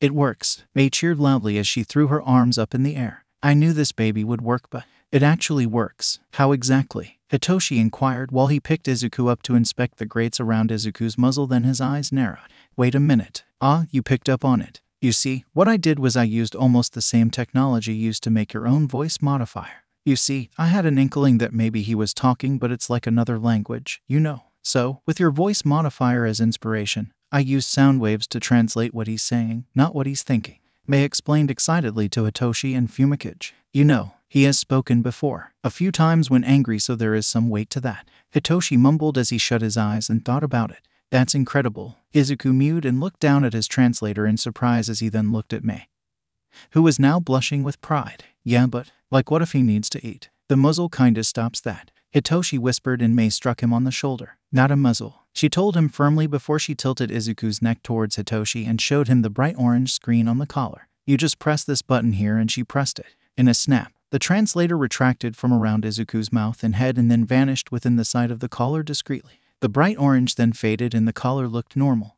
Viola, it's now a normal collar. I made it so even Moss can turn it on if he wants. Moss, the button is. Izuku knew where the button was and without waiting for her to finish, he reached up and gently pressed the button. The translator sprung back to life and snapped around his head and mouth. This time he didn't freak out, but the noise was a little less to be desired. Cool, he chirped. Thank you, Mei. Mei was going to be riding this high for weeks, there wouldn't be a doubt about it. There you go, a translator for your wickedly smart cat. Mei told Hitoshi, and Hitoshi was beaming and opened his arms for Izuku. Izuku leaped into Hitoshi's arms. That is incredible. Fumikage reached and gently ran his finger across Izuku's head. I know this will make things much easier for you no longer needing to track down Koda or Nezu. Huh, you bet. Izuku purred when Fumikage scratched the sides of his face and under his chin. We should have done this eons ago. I agree, thank you, Mei. Hitoshi told her and she nodded. I wish you the best of luck. See you guys when you need something. She told them while Fumikage and Hitoshi walked out of the lab. I do wish it wasn't so. Muzzle why? But it's still incredible, Hitoshi mumbled as he inspected the translator a little more in detail. It'll take some getting used to, Izuku said through the translator. But I'm excited. He jumped a little as he got on Hitoshi's shoulder. Yeah, I am too. Going back to the dorms was fun. The moment they walked through the doors, Izuku took a deep breath and spoke. Hello, hey Ochako, who was walking by. Answered him, stopped, and whipped back around to look at Izuku and Hitoshi with wide eyes. Was, was that she pointed at Izuku and Hitoshi nodded. Yep, we got him a translator, so he can speak with the rest of us without us having to bug Koda or Nezu. Hitoshi explained and then Izuku spoke. It freaked me out at first, but it's pretty handy now. Ochako's eyes just stayed wide. Wow, I just never knew you could speak so dot dot dot well. She told him as she stepped up to Izuku. That's incredible. She then patted Izuku's head gently. Then again, if you're smart enough to telepathically speak with Hitoshi, then obviously you'd speak well. Still, this is great. I'm glad you'll be able to speak with the rest of us. Izuku purred while Ochako patted him. It was going to do a handy device for sure. One that would make life a lot easier for the rest of them. Hitoshi would get his answer about going to see his mother on Friday night during dinner. I'm going to be going with you guys, Oboro told him in a gentle tone at the table. Moss was laying a ways away while Pumpkin and Brine demanded his attention by demanding he play with them. Moss clearly didn't feel like playing as when Pumpkin batted him he just fell to his side and stayed there. I don't want you to inconvenience yourself, Hitoshi told Oboro as he looked away from Moss and back to his foster father. Not really an inconvenience in all honesty. I wasn't doing much and I have PTO time to use anyways. So, I'm taking tomorrow off and still getting paid. Oboro explained. Besides, we really don't want you without a hero at this point, Shouta explained while he quietly slurped his noodle. Nice seems to know your every move and we don't want to risk another kidnapping. Hitoshi nodded. I understand. We'll be with other people though. Dabi is just an adult. Not a hero. Toga isn't a hero, and Shoto doesn't even have his license. As Ashi pointed out fairly quickly, and that made Hitoshi nod in agreement. You're right. Plus, Oboro trailed off and swallowed thickly. We dot dot dot also want to meet your mother. But all three of us can't meet her, so I'll go. Oboro then smiled. We just want to make sure she's not going to be like Eri's mother is all. Yeah, that's fair as well. Hitoshi whispered. Eri came up to him and sat in his lap without an invite. Hitoshi wrapped his arms around her and smiled while placing his chin on her head. Can I come? She inquired while kicking her legs. I'd like to meet your mommy. Sorry, sweetie, maybe next time, Hitoshi told her because truthfully he didn't know how his mother was going to be. If she would even remember him, but she should. Maybe. Eri did give a little pout but didn't protest much further than that. Also, we'll take another car. Maybe a van to fit all of us. Oboro hummed as he thought about it. I just know that the car Talia has is rather tiny. Hitoshi liked the idea and gave a nod of approval, still, he felt a little confused. I mean, there's only five of us, not counting Moss, because he can just sit in my lap. Speaking of Moss, Hitoshi looked over at his friend. Brian, Brat, and Pumpkin were all trying to get Mr. Lazybones up. Brian was pulling on Izuku's ear. Brat was physically trying to push him, and Pumpkin was pulling at the new collar, but Moss wasn't having it. He wasn't going to move. Shouta spoke next while he finished his plate. 6. Bakugo is coming with you guys. Bakugo. Hitoshi looked back at Shouta. Shouta nodded. Yeah, he heard about where Todoroki was going and he wanted to go to visit his aunt. Izuku's ear twitched and he poked his head up. This wasn't lost on Shouta as he looked at Moss. Yes, he's going to see your mother, Shouta told the cat. Wait, Inko Midoriya goes there as well. Hitoshi asked in surprise while he shifted Eri a little. Yeah, she does. Shouta then got up and brought his dish to the sink. The subject dropped shortly after that as Hitoshi put Eri to the ground and brought his dish to the sink and washed it. He was quiet as he let his mind wander at the idea of meeting his own mother and Inko Midoriya. What if Inko approached him? What could we say to her? When Hitoshi and Izuku returned to the dorm, Hitoshi put Izuku on the bed and Izuku just flopped over with a huff. All right, talk to me. Hitoshi turned the translator on and it quickly sprang to life and wrapped around Izuku's head and mouth. What's the matter? he asked. Hitoshi started to strip out of his clothes to get into sleeping clothes, and while he did this, Izuku spoke. Nothing. Did you know your mother was in that facility? I knew she was in a facility. Hitoshi looked back at Izuku and saw him laying there with his ears back. I guess. I just don't know how I feel about seeing her again after all of this time. Izuku admitted as he gave a deep sigh and then just looked at the ceiling with a slow exhale. I hope she's doing well. While Hitoshi wiggled into a pair of sleeping shorts and kept his shirt off. I'm sure she's doing better. He told Izuku before he got into bed. It's going to be okay. She won't even know it's you. I know, and that's what makes me a little sad. Izuku admitted, and Hitoshi picked him up and held Izuku to his chest. It's gonna be okay. Do you want to sit out tomorrow? No, I want to be there for you. Izuku said while resting his head on Hitoshi's chest and then gave a soft purr. Hitoshi smiled while he ran his fingers through Izuku's fur. I'm glad you're going to be there with me, Hitoshi whispered as he exhaled a slow breath and Izuku rubbed his head under Hitoshi's chin. Hitoshi smiled and turned the translator off. The translator retracted and Izuku was able to rest a little more comfortably. Hitoshi gave a smile. I love you, buddy. Izuku gave a mew. I love you, too. The next day, Hitoshi and Izuku woke early. They ate breakfast with the other early birds, and Hitoshi looked at Neito. You good, man? Hitoshi inquired as he ate his toast. You look about half dead. Neito did look rather tired. No doubt it was because of his extra training that All Might was putting him under now that his work study was over and done with. He had eye bags that rivaled Hitoshi's, his skin was slightly pale, and his usually kempt hair was pulled back by a headband. I'm fine, he said as he grabbed the coffee pot and they watched him. Now they expected him to do the logical thing and pour himself a glass. The madman tipped the pot directly into his mouth. You can't just do that. Iida yelled as he chopped a hand toward an uncaring Neito. Neito chugged the entire pot of coffee, not caring at the dropped jaws and looks of concern aimed his way. The last drop of coffee was gone, and Neito returned the pot to the sink, washed it, put new coffee grounds in the maker, and then started a new pot of coffee. Well, I'm out. You guys have fun today. Neito gave a tired yawn before taking off, still ignoring their looks of concern. Did that just happen? Momo blinked and Hitoshi nodded. It did. Should we ask if he needs help? Momo inquired, and Hitoshi looked back where Neito was before shaking his head. I think. He'll come to us in due time. For now, though, let's make sure he's comfortable whenever he comes back in the dorms. I have a feeling that caffeine crash is going to hit him like a semi truck. Hitoshi told her as he finished off his breakfast. Momo nodded. You're right. Oh, here, I meant to give some of this to Moss. With her elbow, she made a small tin of cat food. I looked up the ingredients and it looked like something he would enjoy. Thanks. Hitoshi took the can and popped the tab open with ease. He then set the tin on the table and Moss jumped up to eat. Moss wasted no time digging into it. This did make Koda frown a little as he watched this. Hitoshi rubbed his hand down Izuku's back as his friend continued to eat at a pretty fast rate. I take it he likes it. Koda's hand was like a whip. It shot out and snatched the can of food that Izuku got about halfway done with. Izuku gave a confused mew and Koda inhaled a deep breath, his cheeks red before he finally spoke in a stern voice to Hitoshi. You shouldn't let him eat that ma. The others are right. He is getting bigger than at his size should be. I understand you love him, but you're hurting him. It's not all her. I can tell with the way his stomach droops. Koda then picked Izuku up by his underarms and presented his stomach to Hitoshi. It's hard to really see with all o his but I I push it down a little here. Koda pushed the fur down gently to show that maybe Izuku did have a bit of a tummy. He was at an ideal weight Bayor the gang and when we got him back he slowly started gaining weight. You're overeating him, Hitoshi. Koda told him matter of factly and then he put Izuku back down. Izuku's tail whipped a little. I've also noted that you never let him walk anymore. He just sits on your shoulder and he doesn't exercise that much either.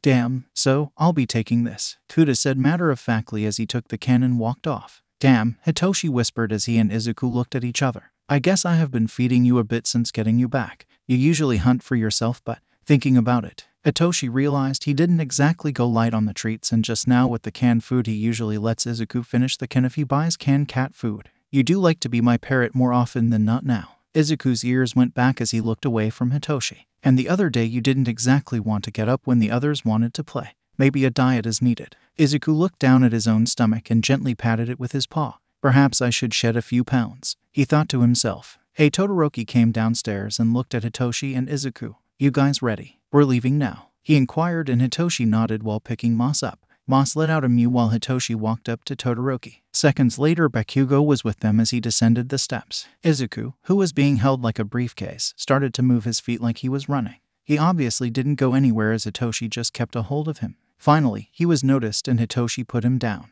Izuku immediately jumped on Bakugo's shoulder and the other just sighed. Well, it's funny, as they were getting ready to leave the dorms, Izuku was suddenly grabbed by Koda and placed firmly on the ground. You should walk. Izuku snorted but complied as he trotted along with Bakugo. When they were outside, they were greeted by Touya and Toga. The two of them waved in greeting. Touya didn't have his mask on, and without the mask, Izuku could see the resemblance between Touya and Shoto. Cat, Toga didn't give Izuku a chance to run as she snatched him by his vest and held him to her chest. Hi, Mossy, she cooed while rocking back and forth. Izuku gave a purr as he rubbed under her chin. Such a gentleman, oh, I could eat you. Toga actually snapped her teeth at him, making Izuku's eyes go wide and his ears go back. Toga then laughed when it became clear that Izuku wasn't the only one looking at her with that same scared expression.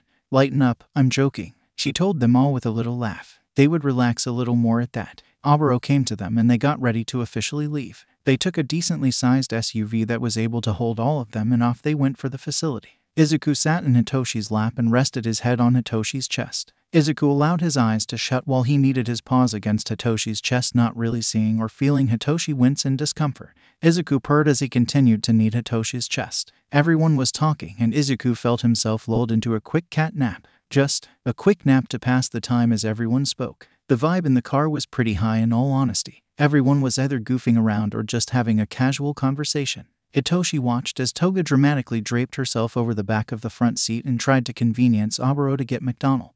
Oboro refused. Bakugo, who was sandwiched between Hitoshi and Shoto, was shouting at Touya, the two of them apparently getting into a disagreement because Touya mentioned liking Babymetal, which got Bakugo all sorts of fired up. Shoto was just sitting and staring quietly out of the window. It all made Hitoshi smile as he looked down at Moss. Moss was still clinging to his shirt, his claws extended and gripping Hitoshi's shirt tightly. His breathing was rhythmic and easy, and Hitoshi only watched before choosing to look out the window as well. Then, before he even knew it, Oboro pulled into the parking lot of the facility. He turned and faced them all. You will all be quiet and respectful once in here, understand? He told them all in a stern tone. And of course, everyone agreed. Hitoshi woke Moss with a small shake, and Moss gave a sleepy MRRP. Upon being woken, Moss stretched himself out, finally releasing Hitoshi's shirt from his claws as he did so. Come on, sleepyhead, Hitoshi whispered as he slid out of the SUV once the seats before him were lower.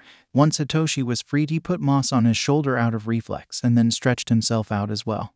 This included his wings, which he accidentally smacked Bakugo in the face with. I'll kill you. Bakugo roared in anger and he was promptly grabbed by the ear by Oboro. Quiet and respectful, Oboro reminded Bakugo sternly. Apologies. Bakugo grumbled while he rubbed his ear once Oboro released him. Watch those wings. Bakugo hissed to Hitoshi, and Hitoshi only nodded as he made sure his wings were tucked away firmly against his back. Before going in, Hitoshi fixed his hair by redoing his ponytail. He wanted to make sure his hair wasn't all over the place. He was the last in as he looked at the hospital name and then shut his eyes. After all these years, I finally get to meet her, he whispered to himself. He felt Moss nudge his head under his cheek and smiled. Let's do this. I wonder if she'll even recognize me or if I'll recognize her. Hitoshi walked inside the facility.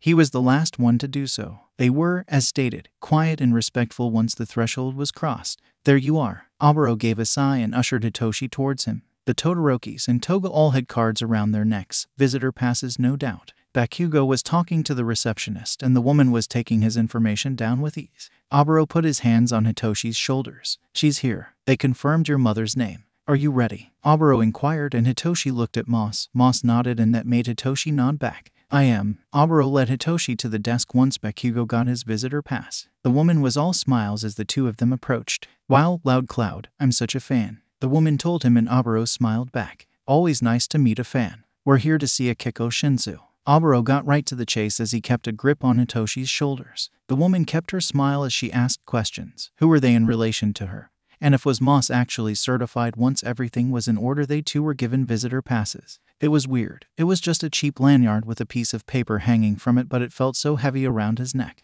They walked towards the doors where a nurse had to put in a code for them and before they knew it their little ragtag group were all in the cafeteria. Some people gave them looks but most didn't look up from their food. Hitoshi scanned the area. He looked for Akiko Shinzu, but he didn't see her. Then again, he didn't know what she looked like God, he was an idiot. Feeling eyes on him, Hitoshi turned his head in that direction. He met eyes with a woman with dark green eyes and green hair. She wore a simple too big tank top and sweatpants. The woman quickly looked away when their eyes met. Maybe that's my Mo. Before he finished the thought, before he took that first step, his face was smacked by Moss. Not once, not even three times, but five times his loyal cat and best friend smacked him. What Moss? Hitoshi demanded and Moss just shook his head. How could you possibly before Hitoshi could finish his sentence? Bakugo sat down across from the lady. Hello, Auntie. He greeted her and then seemed to stare at Hitoshi out of the corner of his eye. Oh, Hitoshi whispered in realization. That's. He looked back down at Moss and dot dot dot yeah. Now that he thought about it, she did share some qualities with Nais or rather Izuku. Still, Moss nodded.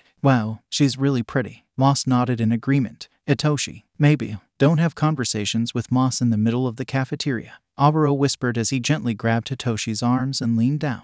We don't need you admitted. Oop, Hitoshi whispered back before clearing his throat. Sorry, Papa. And he focused away from Moss for the time being. They all looked around the cafeteria. Talia was hugging his mom while Toga gushed and Shoto remained seating and looked quite pleased with himself. Bakugo was talking to Inko quietly, but Inko's eyes would often wander back toward Hitoshi and Moss. They said she was here, Hitoshi whispered to Oboro. But, he shook his head. I don't remember a thing about her. Well dot dot dot did didn't say it was Shoto that found her. Ask Shoto what she looks like. Oboro suggested in. Hitoshi felt like an idiot. I swear I'm smart. He grumbled before trudging off towards where Shoto was sitting. He didn't want to bug him visiting his mother, but it was important. A man passed them, and Hitoshi watched the man for a second. The man had a plate of food in his hands as he walked over and sat with Inko and Bakugo. Inko looked happy as she introduced the man to Bakugo. Hitoshi focused back on the task at hand. With his hands shoved into his pockets, he sauntered up to Shoto. Oh, this must be your friend Hitoshi Shinsu. Mrs. Todoroki said with a pleasant smile on her face right as Hitoshi tried to discreetly step up to Shoto. Hitoshi froze for a moment before he bowed politely to Mrs. Todoroki. Pleasure to meet you, madam, he said and nearly sent Moss toppling over his shoulder as a result. Mrs. Todoroki kept the smile on her face. Hitoshi saw a hand out of the corner of his eye and quickly, more out of reflex than anything, he turned taking a step back from the stranger trying to touch him. Well, he never got a look at the person. The person had been wearing a gray hoodie and they had the hood up and their head down. They swerved away from Hitoshi almost dramatically as they scurried away hurriedly. Hitoshi watched them go and Mrs. Todoroki's smile wavered a bit and she swallowed thickly before she garnered his attention once more. Shoto has told me a lot about you, young man. I'm glad you're adjusting to such a drastic quirk. Excuse me, Mrs. Midoriya's voice rang through and Hitoshi watched as she too scurried away in the exact same direction as the stranger. Hitoshi watched them go before Moss suddenly jumped off of his shoulder and went to follow his mother. Moss. Hitoshi started to call him back, and to his credit, Moss did stop and look back at him. It was like he was daring Hitoshi in those few seconds they stared at one another. Don't get lost, was all Hitoshi had to say, and Moss took off after his mother. Hitoshi then turned back to Todoroki's. Apologies, he bowed the woman. Thank you for your concern. Shoto has told me a bit about you as well. Kikayo, shut it, get out, Kikayo demanded as she pointed towards the door where Inko was now leaning against. I don't want to hear it, I don't need your pity. Kikayo spat while she lowered her hood and ran and vigorously ran her fingers through her purple hair as she started to pace. Kikayo, get out what? Kikayo bemoaned before she fell face down on her bed. He doesn't recognize me anyways. It's best I just stay a memory. I was a horrible mother anyways. Kikayo. Inko was gentle as she stepped into Kikayo's room and then sat down on the edge of Kikayo's bed. She ran her fingers through the other woman's lilac hair in a comforting way. It came here looking for you. You know that and I know that. Why else would he be here? To see Rei. I don't think so. He was looking around because he was looking for you. Your son wants to meet you. Kikayo whined and rubbed her face against her pillow. He's not my son. Where did the wings come from? He's supposed to be a brainwasher. Last I checked, I didn't give birth to a bird. Kikayo yelled to Inko. Kikayo. Inko gave her a warning tone. Remember what Shino told us. He was kidnapped and his quirk was taken. He was given the wings by a villain. We both know that was Hitoshi and Rei even confirmed it for you. Kikayo groaned like a teenager and slammed her face back into her pillows. Just go on without me, she whispered. He clearly already has a parent that's doing a better job than I ever could. Inko sighed as she stood from the bed and started to walk towards the door. But not before a flash of anger shot down her spine and she spun back around. You don't understand how lucky you have it, Kikayo. Your son wants to see and meet you for the first time in what? 15, maybe 16 years. My son will never come back. My son was turned into a monster if what Shino told us was true. I would give anything to be in your shoes right now. Then, with those final and harsh words, she turned her heel and walked out of Kikayo's room. Inko turned sharply down the hall. Her breath caught in her throat and she put her hand on her chest as she found herself staring down at Toshi's cat. The cat with those familiar emerald colored eyes. They just stared at one another. Neither wanted to break the silence. The cat was slow and methodical like he. Inko looked down. Yes, he was watching her, wanting to see what she was going to do, to gauge her reaction. Inko's throat suddenly became dry as she then licked her lips and was the first to look away. If you're looking for a litter box dot dot dot, we don't have those here so was the smartest thing she could think to say at that moment. The cat just continued to stare at her with those eyes, those familiar eyes. Mom, little Izuku yelled as he pulled her frantically towards the computer. Let's go. Those eyes, were they tearing up? The cat actually had tears in his eyes and he used his paws to wipe them away the best he could. Momas, that's what that boy called you, right? Inko inquired as she slowly felt herself crouch down at Sutsu. She then extended her hand toward him. Unlike most cats, Moss didn't give her a sniff. No, he first pressed his head against her palm and Inko felt a familiar warmth from it before the cat held onto her wrist with both of his paws. He didn't bunny kick, didn't get on his back. He just held her hand there. Now why was she starting to tear up? Oh, she knew why. She recognized her baby anywhere. Inko's vision blurred with tears as her throat started to hurt. She tried to suppress her sobs as she wiped her tears sloppily with her free hand. Still, she had to be sure. I Izuku, is, is it you? Or am I finally losing it? she asked with a heavy, tearful voice while trying to wipe her tears the best she could. That cat nodded, the cat fucking nodded. Inko couldn't hold back anymore. She picked Izuku up quickly and hugged him tightly. Th, the moment I saw you in in a picture, she sobbed into his fur. The, the moment she sniffled against him, it just felt way too good to be true. She pressed something by accident. She felt the button on the collar push in and she nearly dropped Izuku in shock when the collar sprang to life and wrapped around his head and face. He didn't seem bothered by this at all. Boo boo um. Izuku wailed an electronic voice speaking for him. Inko sobbed into the green fur. Izuku. Oh, Izuku. She knew if any orderly saw her, she'd be wheeled away and put into emergency therapy. Hell, if anyone saw her right now, she'd look insane. There was a purring, and Inko sniffled before wiping her nose with her arm. I don't understand, she yelled between sobs. I don't I saw you, I saw your body, I. I. Her voice failed her, her thoughts failed her. She didn't know what to say or what to think anymore. Boss, Oboro walked down the hallway but stopped when he saw dot dot dot will dot dot dot this. Inko felt afraid. She was going to be locked away forever. This man was going to think she was nuts. Or, maybe not it would seem. Oboro walked up to them and crouched down. You couldn't have waited to tell her. He asked the cat before he reached up and stroked Izuku's head. No, Izuku said firmly. I didn't tell her, she figured it out. You, you know, Inko whispered and Hitoshi nodded. Yeah, I do. You have a good son, Mrs. Midoriya. We've been taking care of him for the last few years. Oboro explained to her in a soft tone. We would have brought him sooner, but we just weren't sure if you would have understood. I don't understand. I buried him. I. She held Izuku just a little tighter. The thing is, from what we managed to piece together, he's not Izuku. But he still has Izuku's memories. It was dumbed down for her benefit, no doubt, but she did understand it if only a tad.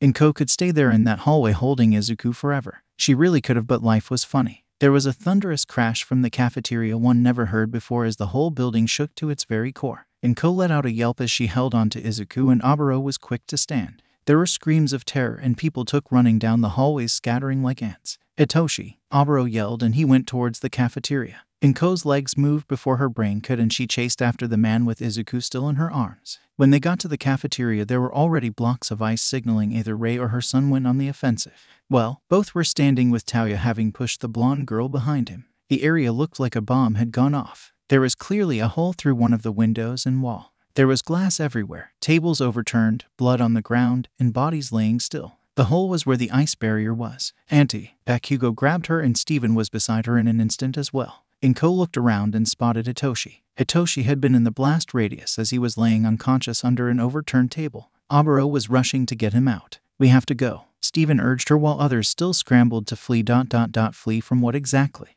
Well, she would find out in seconds when a thing crashed through the ice barrier they had created. It was massive. It didn't look human because it wasn't and it had blue skin. Its brain was out and pulsating. Its eyes were bugged and looking in every direction. It had a scrawny backside, but its fists more than made up for that as it walked on its knuckles like a gorilla. The thing looked wildly around before it spotted Inko. Much like a gorilla, it bashed its fists into the ground like it was getting ready to charge while it let out a shriek straight from hell. Easy there, Nomu. A new, familiar voice spoke from the ice barrier as a hand came out and patted Nomu's arm. Inko felt faint as the figure emerged, and she looked down at Izuku in her arms. Dot dot dot. Then dot dot dot. She looked back at the monster, at what Shino was warning her about, at Izuku's reanimated body. This was a bad situation to be in. A bad one. Inko held on tightly to Izuku, while this monster with her baby's face focused on her. Mom, it's been so long. The faker took a few steps towards her, his arms open wide like he was expecting a hug. Well, Rei was faster than anyone.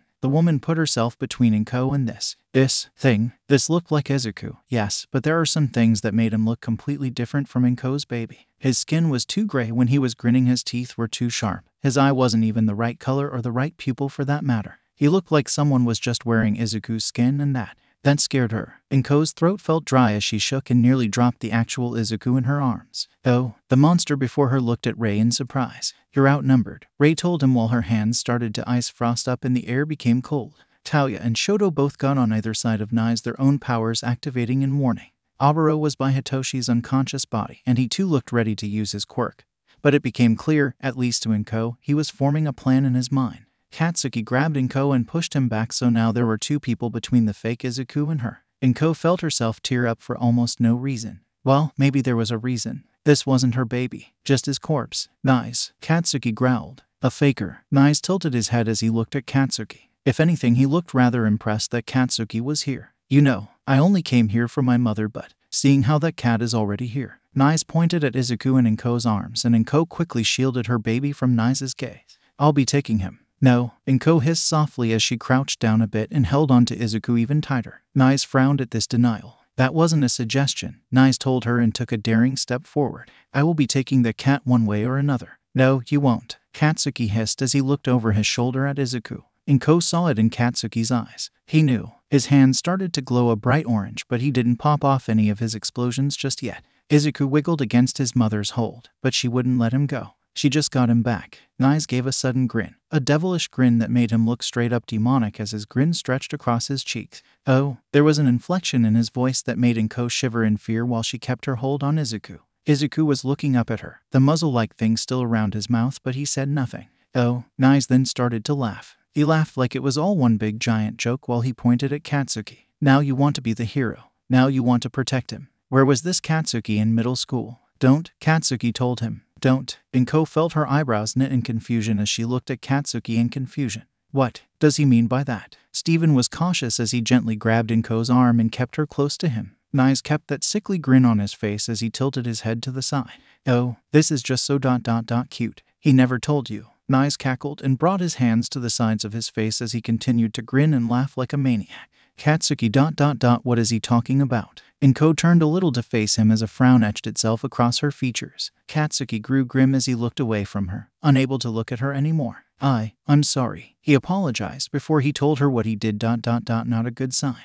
What's the matter, Kacchan? Nais inquired in a childish mocking voice. Can't own up to the consequences of your actions. For your information, I was four. It happened suddenly. First, Katsuki was lively as he spoke aggressively to Nais before his eyes became milky white and his jaw went slack while his shoulders slumped. Nais was grinning like the cat that caught the canary. Now that I have you like this, why don't you tell my mother the truth? What did you say to me the day I jumped off the roof? What were your final words to me that faithful day? Stop it. Izuku yelled loudly, which made Steven and Rei look at the cat with wide eyes. Izuku struggled against Inko's grip, but she just couldn't bring herself to let go of her son. She couldn't. Stop it. It doesn't matter anymore. Nais's face turned nasty. There you go again, forgiving the unforgivable. He gnashed his sharp teeth together so hard that they clicked loudly. Tell them, tell them all here and now. Nais demanded. Then Katsuki spoke in a slow drawl. I told you to there was a flash as a cloud swept Katsuki off of his feet and woke him from Nice's quirk it seemed as he let out a gasp. Katsuki was brought to Loud Cloud and the man had a broken metal pipe in his hands. That's enough. Loud Cloud growled as he directed the pipe at Nice. You have terrorized my students and my family long enough. I may be off duty, but I'm still a hero, and backup is on the way, which includes almost all of the UA staff. Okay, Nice smiled before he jumped up into the air and landed gracefully on the Nomu's shoulder. If it's a fight you want, Loud Cloud, I'm not opposed to one. But this area is quite small and my Nomu is quite big. Nice patted the Nomu's face almost lovingly. I worked hard with the doctor to make the perfect Nomu. You see, there are still people in this room. Not just your students, your villains turn good, but civilians.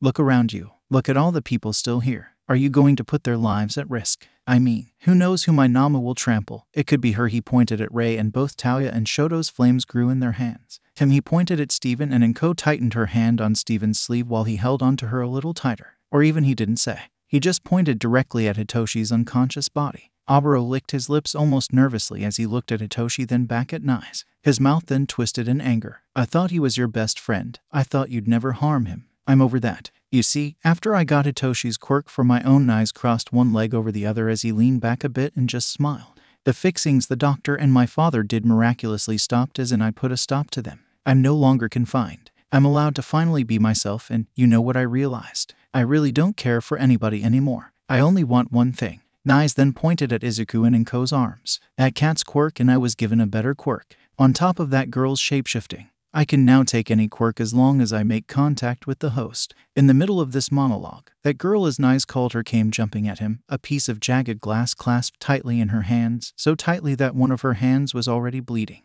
With a scream from her mouth, she went to attack. She was swiftly grabbed in one of the Nomu's mighty hands in midair. Toga, Touya screamed as the Nomu had her by the neck. Very quickly her face started to turn a shade of purple as her oxygen was cut off. She tried desperately to stab the Nomu with her piece of glass, but all she managed to do was break the glass into the Nomu's mighty arm, and that was quickly healed. Do it? Nice looked Touya dead in the eyes with a crazed look as his grin stayed plastered on his face. I'll snap her neck. Don't think I won't. As Nice shouted at Touya, it was the perfect distraction for Shoto. Shoto stomped on the ground, and a glacier appeared and wrapped tightly around the Nomu's massive arm, stopping it from squeezing any farther. Touya, Shoto shouted, and Touya shot out a bright blue flame aimed directly at Nice. Nice leaped off of his beloved Nomu swiftly and jumped into the air. The moment he was on the ground, Rei struck using her hands. She slammed both on the ground and made a glacier wrap tightly around Nice. You're dead, right? So the cold shouldn't be good on those already stiff limbs of yours. Rei growled as she stood. Nyes was completely engulfed by the ice. The only part of him sticking out of the cold was his head as he immediately looked panicked. He looked more like Izuku while he struggled against Rei's ice, and even then the onslaught wasn't done as the moment Rei stood Oboro struck before Nye could command his Nomu to do anything. The metal pipe Oboro had struck Nye straight across the face and head. His head whipped to the side as he let out a loud cry. Then dot dot dot just like that he went limp in the ice and everyone let out a breath. Inko slowly fell to the ground as she stared at the corpse, the corpse of her son, and then she looked down at Izuku before she hugged him tightly and started to cry into his fur. Everything just hit her at once. Jesus. Stephen crouched down and ran his hand through Inko's hair. Are you okay, dear? Stephen asked, and Inko just cried. How could she be okay? She felt a rough tongue lick her cheek and she looked at Izuku in her arms. People started to evacuate a little faster now and sirens could be heard in the distance. It seemed everything may just be okay. The smell of cooking meat and the feeling of heat on her face made Inko look up, only to immediately look away. Touya and Shoto were burning the Nomu's hand off of Toga's neck. The Nomu had gone silent now that Nais was incapacitated. There was a sickening sound of the Nomu's hand falling to the ground as the beast let out a shriek of pain but did not retaliate. Toga hit the ground and let out several wheezing breaths as gasped violently. Idiot, Touya yelled at her before hugging her tightly against his chest. Oh God, came Hitoshi's voice as he finally seemed to have returned to them. Oh God! He cried in alarm at the destruction, at Nais, and at the giant Nomu. Inko looked at Hitoshi and then looked down at Izuku. Izuku looked at her and she smiled a sad and watery smile. For just that moment, everything seemed like it would all be perfectly okay. That everything was good until it wasn't. They had all let their guards down for just a second too long. It was Shoto that had gotten just a little too close to Nais. He wasn't even interested in Nais, he had gone to check on Hitoshi. Like a rabid dog, Nais sprung back to life and chomped on Shoto's arm. Uh, Shoto jerked his arm free from Nice's maw, and by then it was way too late. Nai started to morph into Shoto Todoroki, taking on his clothes and likeness as well as his quirks. The ice first started to glow orange before it exploded from the sheer amount of pressure Nais used to free himself. Nais then stood there looking exactly like Shoto Todoroki as he grinned and then he looked towards Inko and stared directly at her. I will be taking the cat from you, mother, he told her in a threatening tone while pointing. Something inside Inko strengthened as she held on to Izuku and stared at Nais. She tightened her hold on the cat before she turned and she ran. Her feet moved before her mind did. She kept Izuku close to her chest as she ran down the hallway as fast as her legs could carry her. She nearly tripped on an overturned cart but managed to stay on her feet. She could only hear her own breathing roaring in her ears as she ran down the lonely hallway. For a moment, for just a moment, she thought maybe the monster wasn't going to follow. She was right. Kinda. Nais did not follow her. The Nomu did. Like an angry gorilla, it crashed through the hallway, using its massive arms to slam through anything in its path, and it was a race. Inko charged through the hallway as she could hear and feel the Nomu getting closer and closer with each second. Mom, Izuku spoke as he clung to her. Give me to him. It's not worth it. It is, Izuku. You are worth it. Inko yelled madly as tears threatened to blur his vision while she ran. The Nomu was getting closer and closer. Its massive fist shook the whole hallway, causing the windows to rattle and the building to quake in its fury. Inko looked behind her and just see a white and purple blur kick the Nomu in the face. Hitoshi's mighty wings flapped as he grabbed onto the Nomu's face and started kicking at it in an attempt to try and slow it down. It wouldn't be long before Katsuki joined him, and with one powerful explosion, he aimed right from the Nomu's left eye to blind it. Inko looked forward again as she charged down the hallway. She didn't know just where she was going as she passed all the rooms. She didn't even know where this section of the facility led to, but suddenly grabbed and yanked towards a stairwell by Kikayo. This way, Kikayo demanded, and the two women ran up the stairs frantically. The Nomu skidded and tried to follow. But for once, luck was on their side as the stairwell was just too small and the walls were reinforced. The Nomu tried to reach one of its massive hands inside but couldn't reach Inko's retreating form. The beast gave a roar at this, a roar that completely shook Inko to her core, but she couldn't stop. She couldn't. Hurry, Kikayo urged as she grabbed Inko's wrist, and the two of them ran toward the second floor where the door was. I know where a fire escape is. We can Kikayo reached for the door and turned the handle, just popped the screen out. It's an employee lounge. There's a password, but it's stupidly simple. It had happened suddenly as Kikayo was explaining. A hand shot out from the open door and wrapped around her throat. Kikayo kicked and screamed as Shoto Todoroki no Nais had her in his harsh and unforgiving grip. Oh dot dot dot how cute. Nais grinned as he looked at Kikayo. That quirk you have. Something black was invading Kikayo's body through her neck where Nais had her in his grip. Mind control. Oh yes, I see it now. You're Hitoshi's mother. Tisk tisk. Nais pulled her arm back as Kikayo tried and failed to kick her off. How horrible. He commented on the old needle marks on her arms. You know, there was an unmistakable hatred in Nais's eyes, despite them being Shoto's eyes. He was staring down at Kikayo, as the woman tried to fight him the best she could. She kicked and clawed, but nothing she did worked. I think Hitoshi will do just fine with you in his life. Izuku was quick as he managed to slip out of his mother's grasp and charged at Nais. Izuku jumped right against Nais's face to throw him off balance. With him being such a heavy cat, it wasn't hard. Kikayo let out a gasp as she was let go, and Inko watched in horror as Kikayo rolled down the stairs. There wasn't a single doubt in Inko's mind that Kikayo knee tore at one point. Inko watched as Kikayo's right knee twisted when she went down.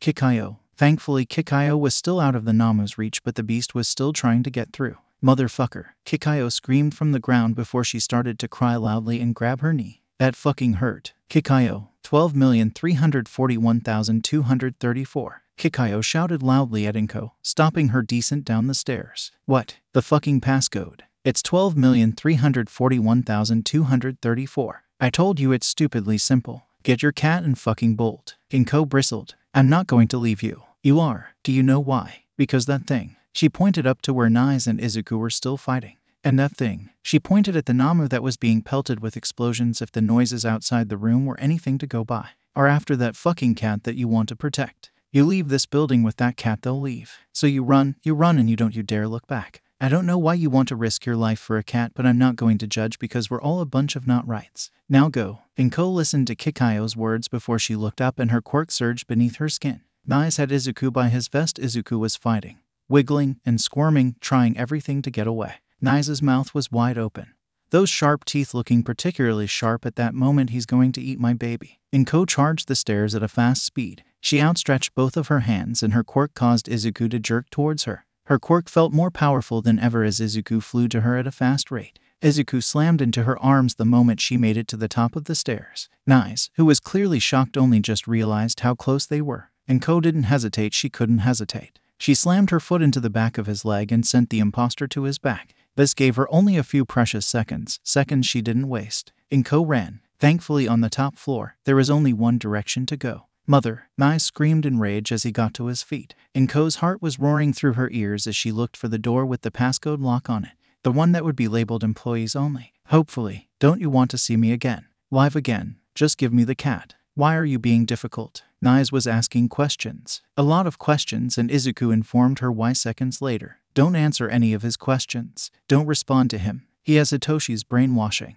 It's how he got Kacchan earlier. Inko nodded at Izuku and kept her mouth screwed shut. Nais was gaining on them but coming up. Inko saw it, the passcode lock. She nearly overshot it as she slid right in front of it and almost fell as a whole. With trembling fingers, she punched in the stupid passcode. 12,341,234 and hit the green button.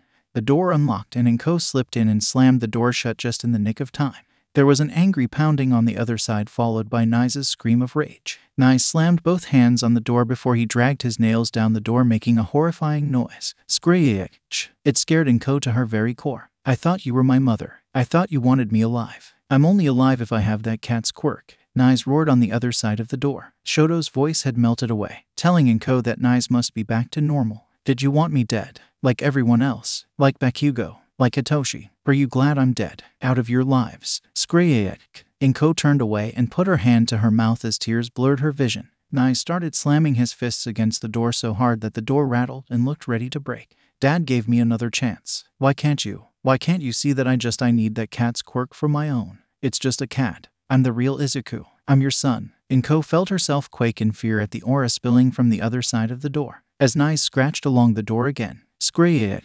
Mother, I know you hear me. Mother, don't do this to me. Mother, don't do this, please. You're better than the rest. Your mother, mother. Inko couldn't take it anymore. She rushed for the window. This window wasn't like the others in the building. It didn't have bars on the window, and the window could be opened easily. Inko opened it and slid it open while Nais continued to scream and pound on the door. Inko popped the screen out and down it fell. The fire escape was just below her. Inko looked around quickly, very quickly, for a weapon. She felt she was going to need one. She found one, but it wasn't exactly what she was aiming for as she used her quirk to bring the fork to her. The fork was metal so it could work as ridiculous as it was. Inko then went through the window. The moment she outside, she was met with sirens. She looked down and saw a bunch of people outside from police officers, firefighters, ambulances, patients, and nurses, and she saw the heroes rushing inside to help. The wind blew her hair back a little as she did this. Inko licked her lips and rushed towards the stairs. We're almost free, Izuku. Oh, I hope Steven won't be too mad at me. Inko almost wanted to laugh. She hadn't even thought of Steven until now.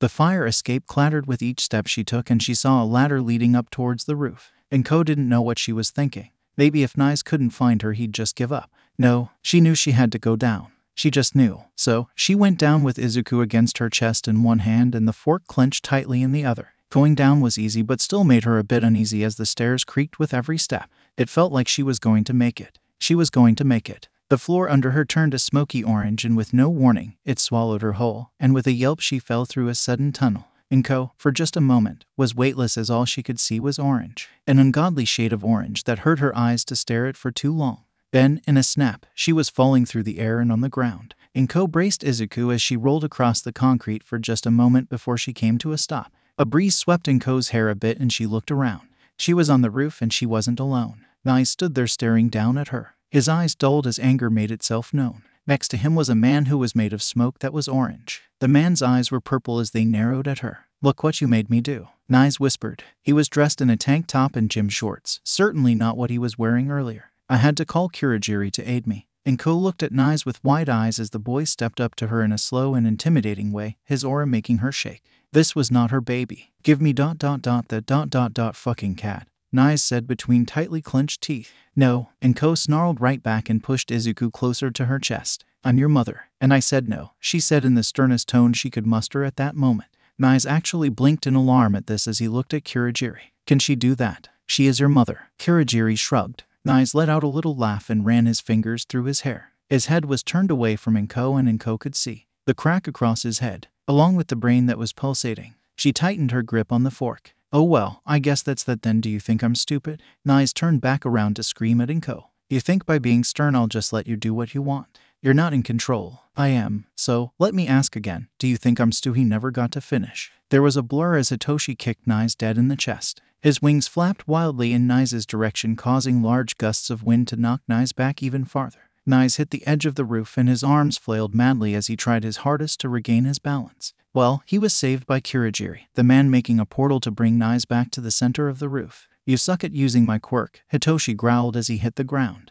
Nais looked at him and then chuckled. God, you're such an idiot. Then it happened. With a gasp, Inko dropped halfway down one of Kurogiri's portals as did Hitoshi. The only one not in a portal was Izuku as Inko made sure to throw him away from her. Izuku stood and hissed at Nais. I'm going to make this crystal clear. Either you're coming to me, or I kill them both. Right here, right now. I'll have Kurogiri squeeze them and rip them both in half. Nais threatened Izuku loudly and boldly. As much as I would rather not have blood in my portals, it will be done, Kurogiri added for good measure. Izuku looked at Nais, then he looked at Inko, then at Hitoshi. Both struggled, but Kurogiri's hold was tight almost too tight as Inko found it hard to breathe and expand her chest. Hitoshi let out cries as he slapped his hands against the concrete. Don't do it, Moss. Don't. Hitoshi yelled in desperation. It's not worth it. Izuku looked at Hitoshi and trotted over to his friend. Then he rubbed his head against Hitoshi's hand. But, it is. You always were, Izuku said to Hitoshi before he walked away. No, Inko screamed as she reached for her son. Izuku. No, Izuku. Hitoshi tried. God did he try. Inko watched his thrash violently to wiggle free. Izuku Midoriya. I am your mother. Inko shrieked madly. You listen to me this instant, young man. You aren't to go to him. It'll be okay. Don't ask me how I know. But, it'll all be okay. I have an angel looking out for us. Izuku told her before he slowly trotted up to Nais. The world felt like it was moving in slow motion as Inko looked past Nais. On the adjacent rooftop, there was a calico cat. A sleek and fluffy calico just watching this all go down. Finally, after all of this time, Nai snatched Izuku up and Inko focused back with horror. He's going to be saved. He has to be saved. She thought as Nais grabbed Izuku tightly around the neck. He held Izuku by the neck and that same black quirk seeped into Izuku's fur. Finally, Nais screamed the quirk transferred into his own body. He's going to be saved. Nais raised Izuku to his mouth and opened his jaws wide. Those sharp teeth were the only thing Inko could see at that moment as Nais clamped his mouth down on Izuku's exposed throat and he tore into Izuku's throat like a savage animal.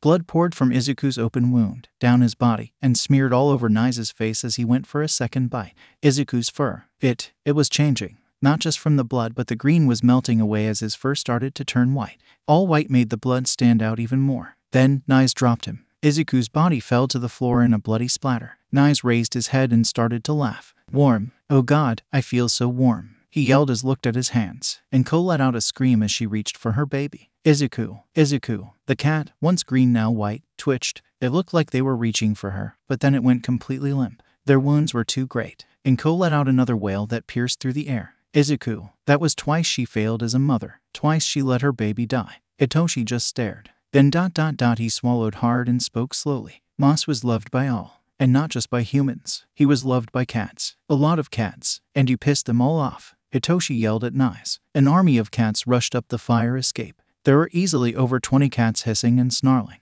Leading the charge was a fluffy calico. They jumped Kurogiri. 20 cats jumping a person would throw anybody off. Nais turned in alarm while Kurogiri tried to fight the animals off. Inko and Hitoshi were allowed wiggle room and Inko wasted no time. She charged. The fork was tight in her hand as she rushed Nais's turned head. The crack in his head was growing smaller, but it was still there. You're not my son. Inko screamed right as she thrust the fork straight through Nai's exposed brain. You just have his body. Nais let out an unholy screech as he tried to reach for the fork. Oh, but the cats weren't satisfied.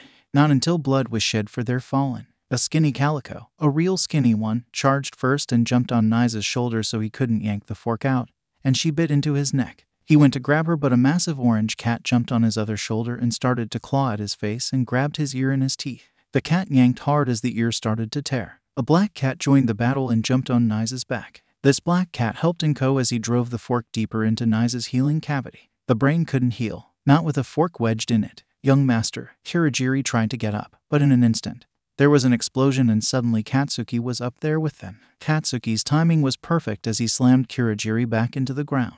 You do have a body, Katsuki yelled, and he held Kurogiri to the ground before he raised both hands up, let them heat up, and then clapped both of his hands right against Kurogiri's head. A massive explosion caused the man's head to whip up before he fell completely limp. Katsuki focused his sights on Nais but stopped at what he was seeing. Nais tried to swipe and get the cats off of him. He screamed in pain and fear as blood poured out of every open wound.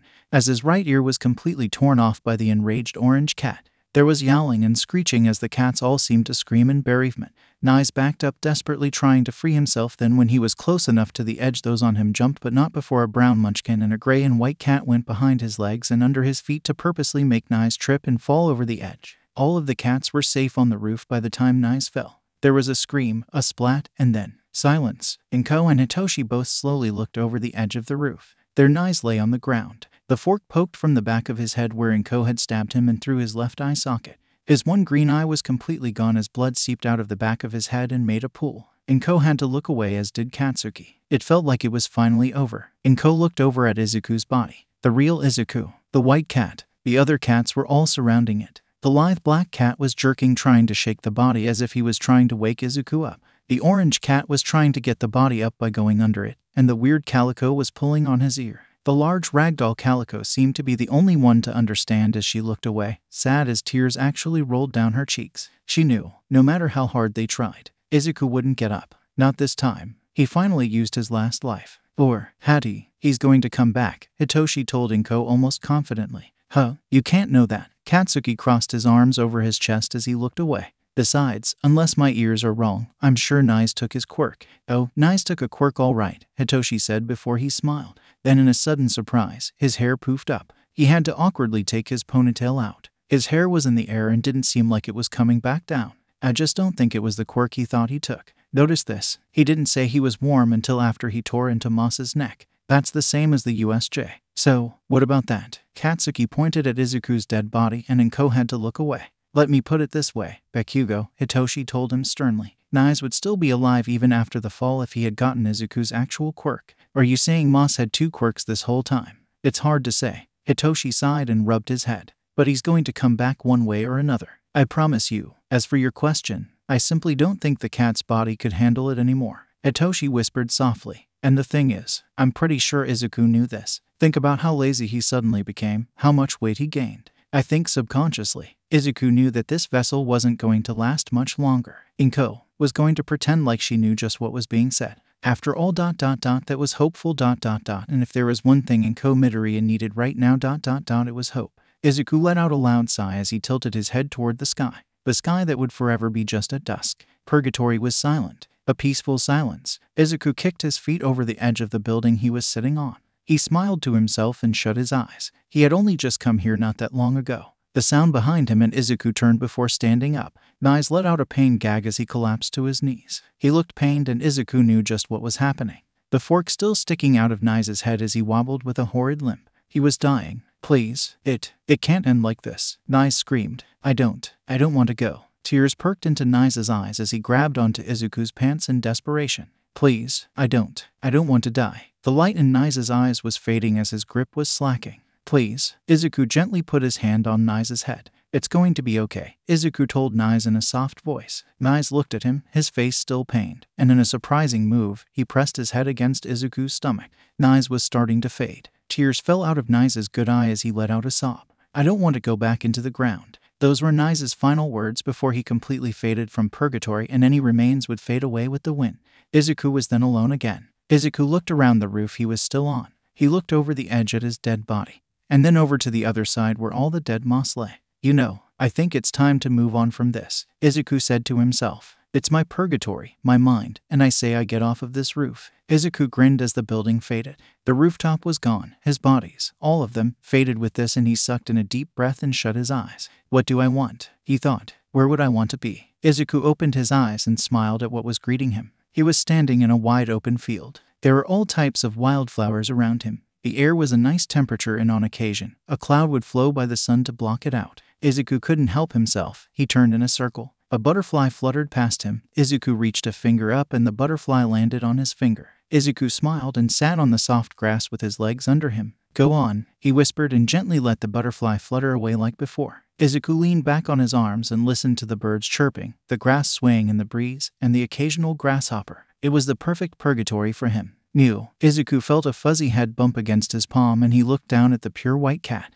The giant ragdoll jumped on Izuku's lap and rubbed against his chest. Hey, you must be Cloud. Izuku greeted the pure white cat and Cloud jumped on Izuku's shoulder. I take it this means I won't be coming back. Not as you. Cloud let out a mew and pressed his head against Izuku's cheek. You're a good cat, Cloud. Cloud let out a mew before he jumped down and jumped into the grass next to Izuku. He gave Izuku one last look before rushing away from him. Cloud would vanish completely only seconds later. Izuku lay down in the grass and looked at the sky once more. So, you just plan on lazying about. Came a familiar voice as a sleek calico sat next to him. Izuku blinked in surprise and turned onto his side to look at her in full. Angel, the one and only, Angel said as she sat down and got comfortable next to his face. Her fur was soft and warm as it tickled the inside of his nose. What are you? He asked her again and she shrugged. I'm just a street cat. But you aren't exactly in the streets right now. She gave a purr and kept herself pressed next to him. Was I ever? Think about it. Really think about it. Izuku blinked slowly as he listened to her words. But, Pumpkin saw you.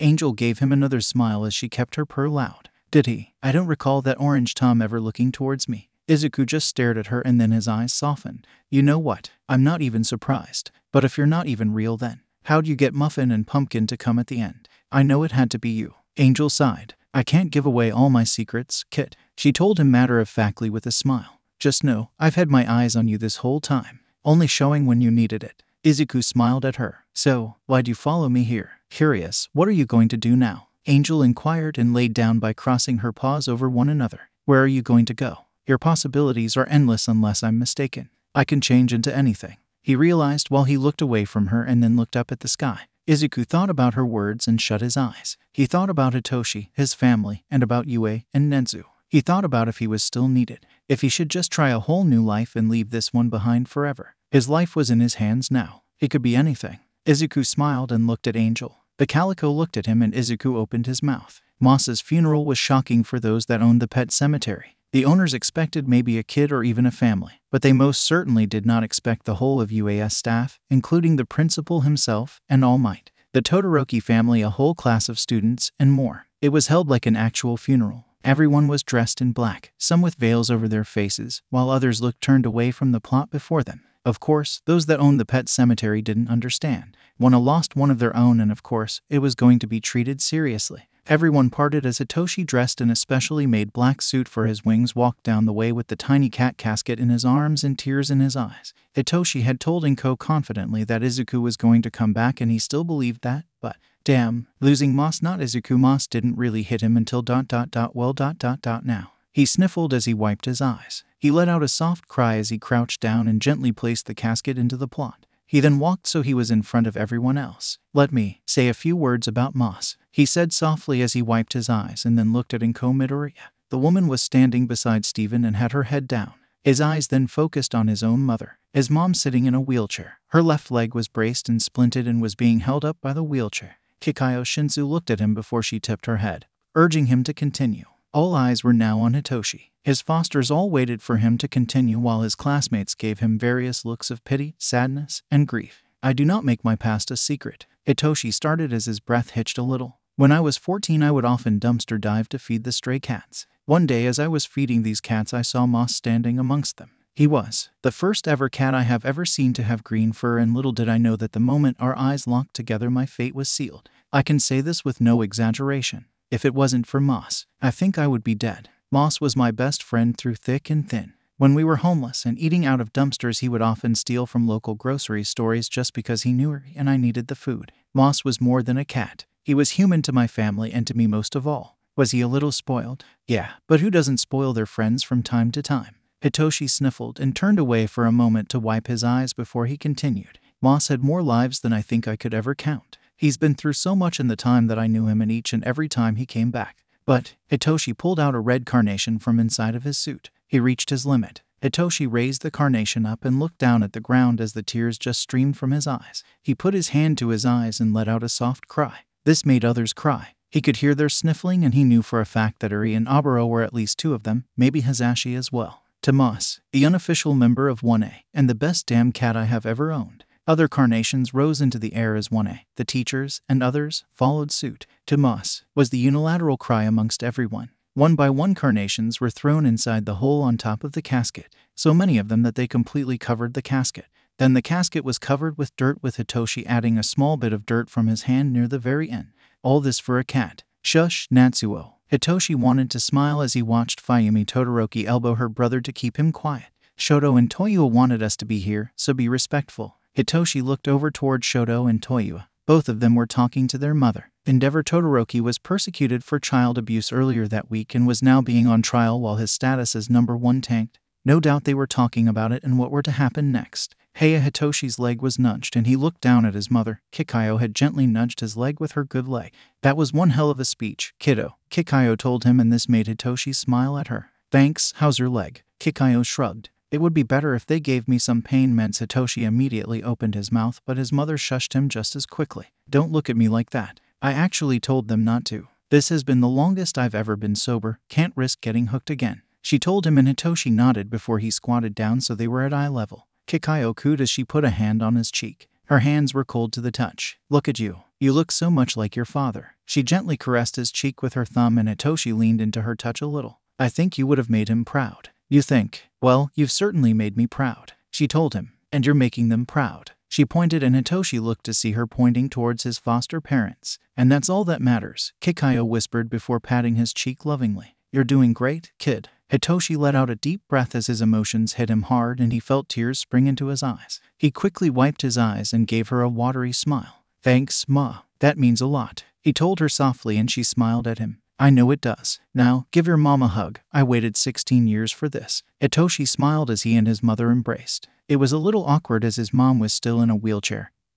But it was nice. It was everything he really wanted at that moment, and his mother delivered dutifully. It's going to be okay. His mother told him in his ear as they pulled away. It's all going to okay. He knew she was right. Everything was going to be okay, even without Moss by his side. It was all going to be okay. As a little over a month passed, Hitoshi was up and brushing his teeth. He was in the apartment with the Fosters on this slightly chilly day. He'd be going back to the dorms later that night. Fumikage wanted to watch some movies together and Hitoshi was down for that. Fumikage learned to fly and so it was nice when the two of them would have late night flying sessions together and Hitoshi wondered if Fumikage wanted to do that as well. Things almost seemed to return to normal. Almost. There was still a gap there, the one that Izuku had filled before. Hitoshi truly wondered if his words would come true. As fall was upon them now, he wondered if he'd ever see his friend again. If maybe Izuku had used his last life. Hitoshi capped the toothpaste and sighed while looking at himself in the mirror. He'd been staying in touch with his mother these last four months, and, of course, his mother had been staying in touch with Inko. In fact, in a surprising twist,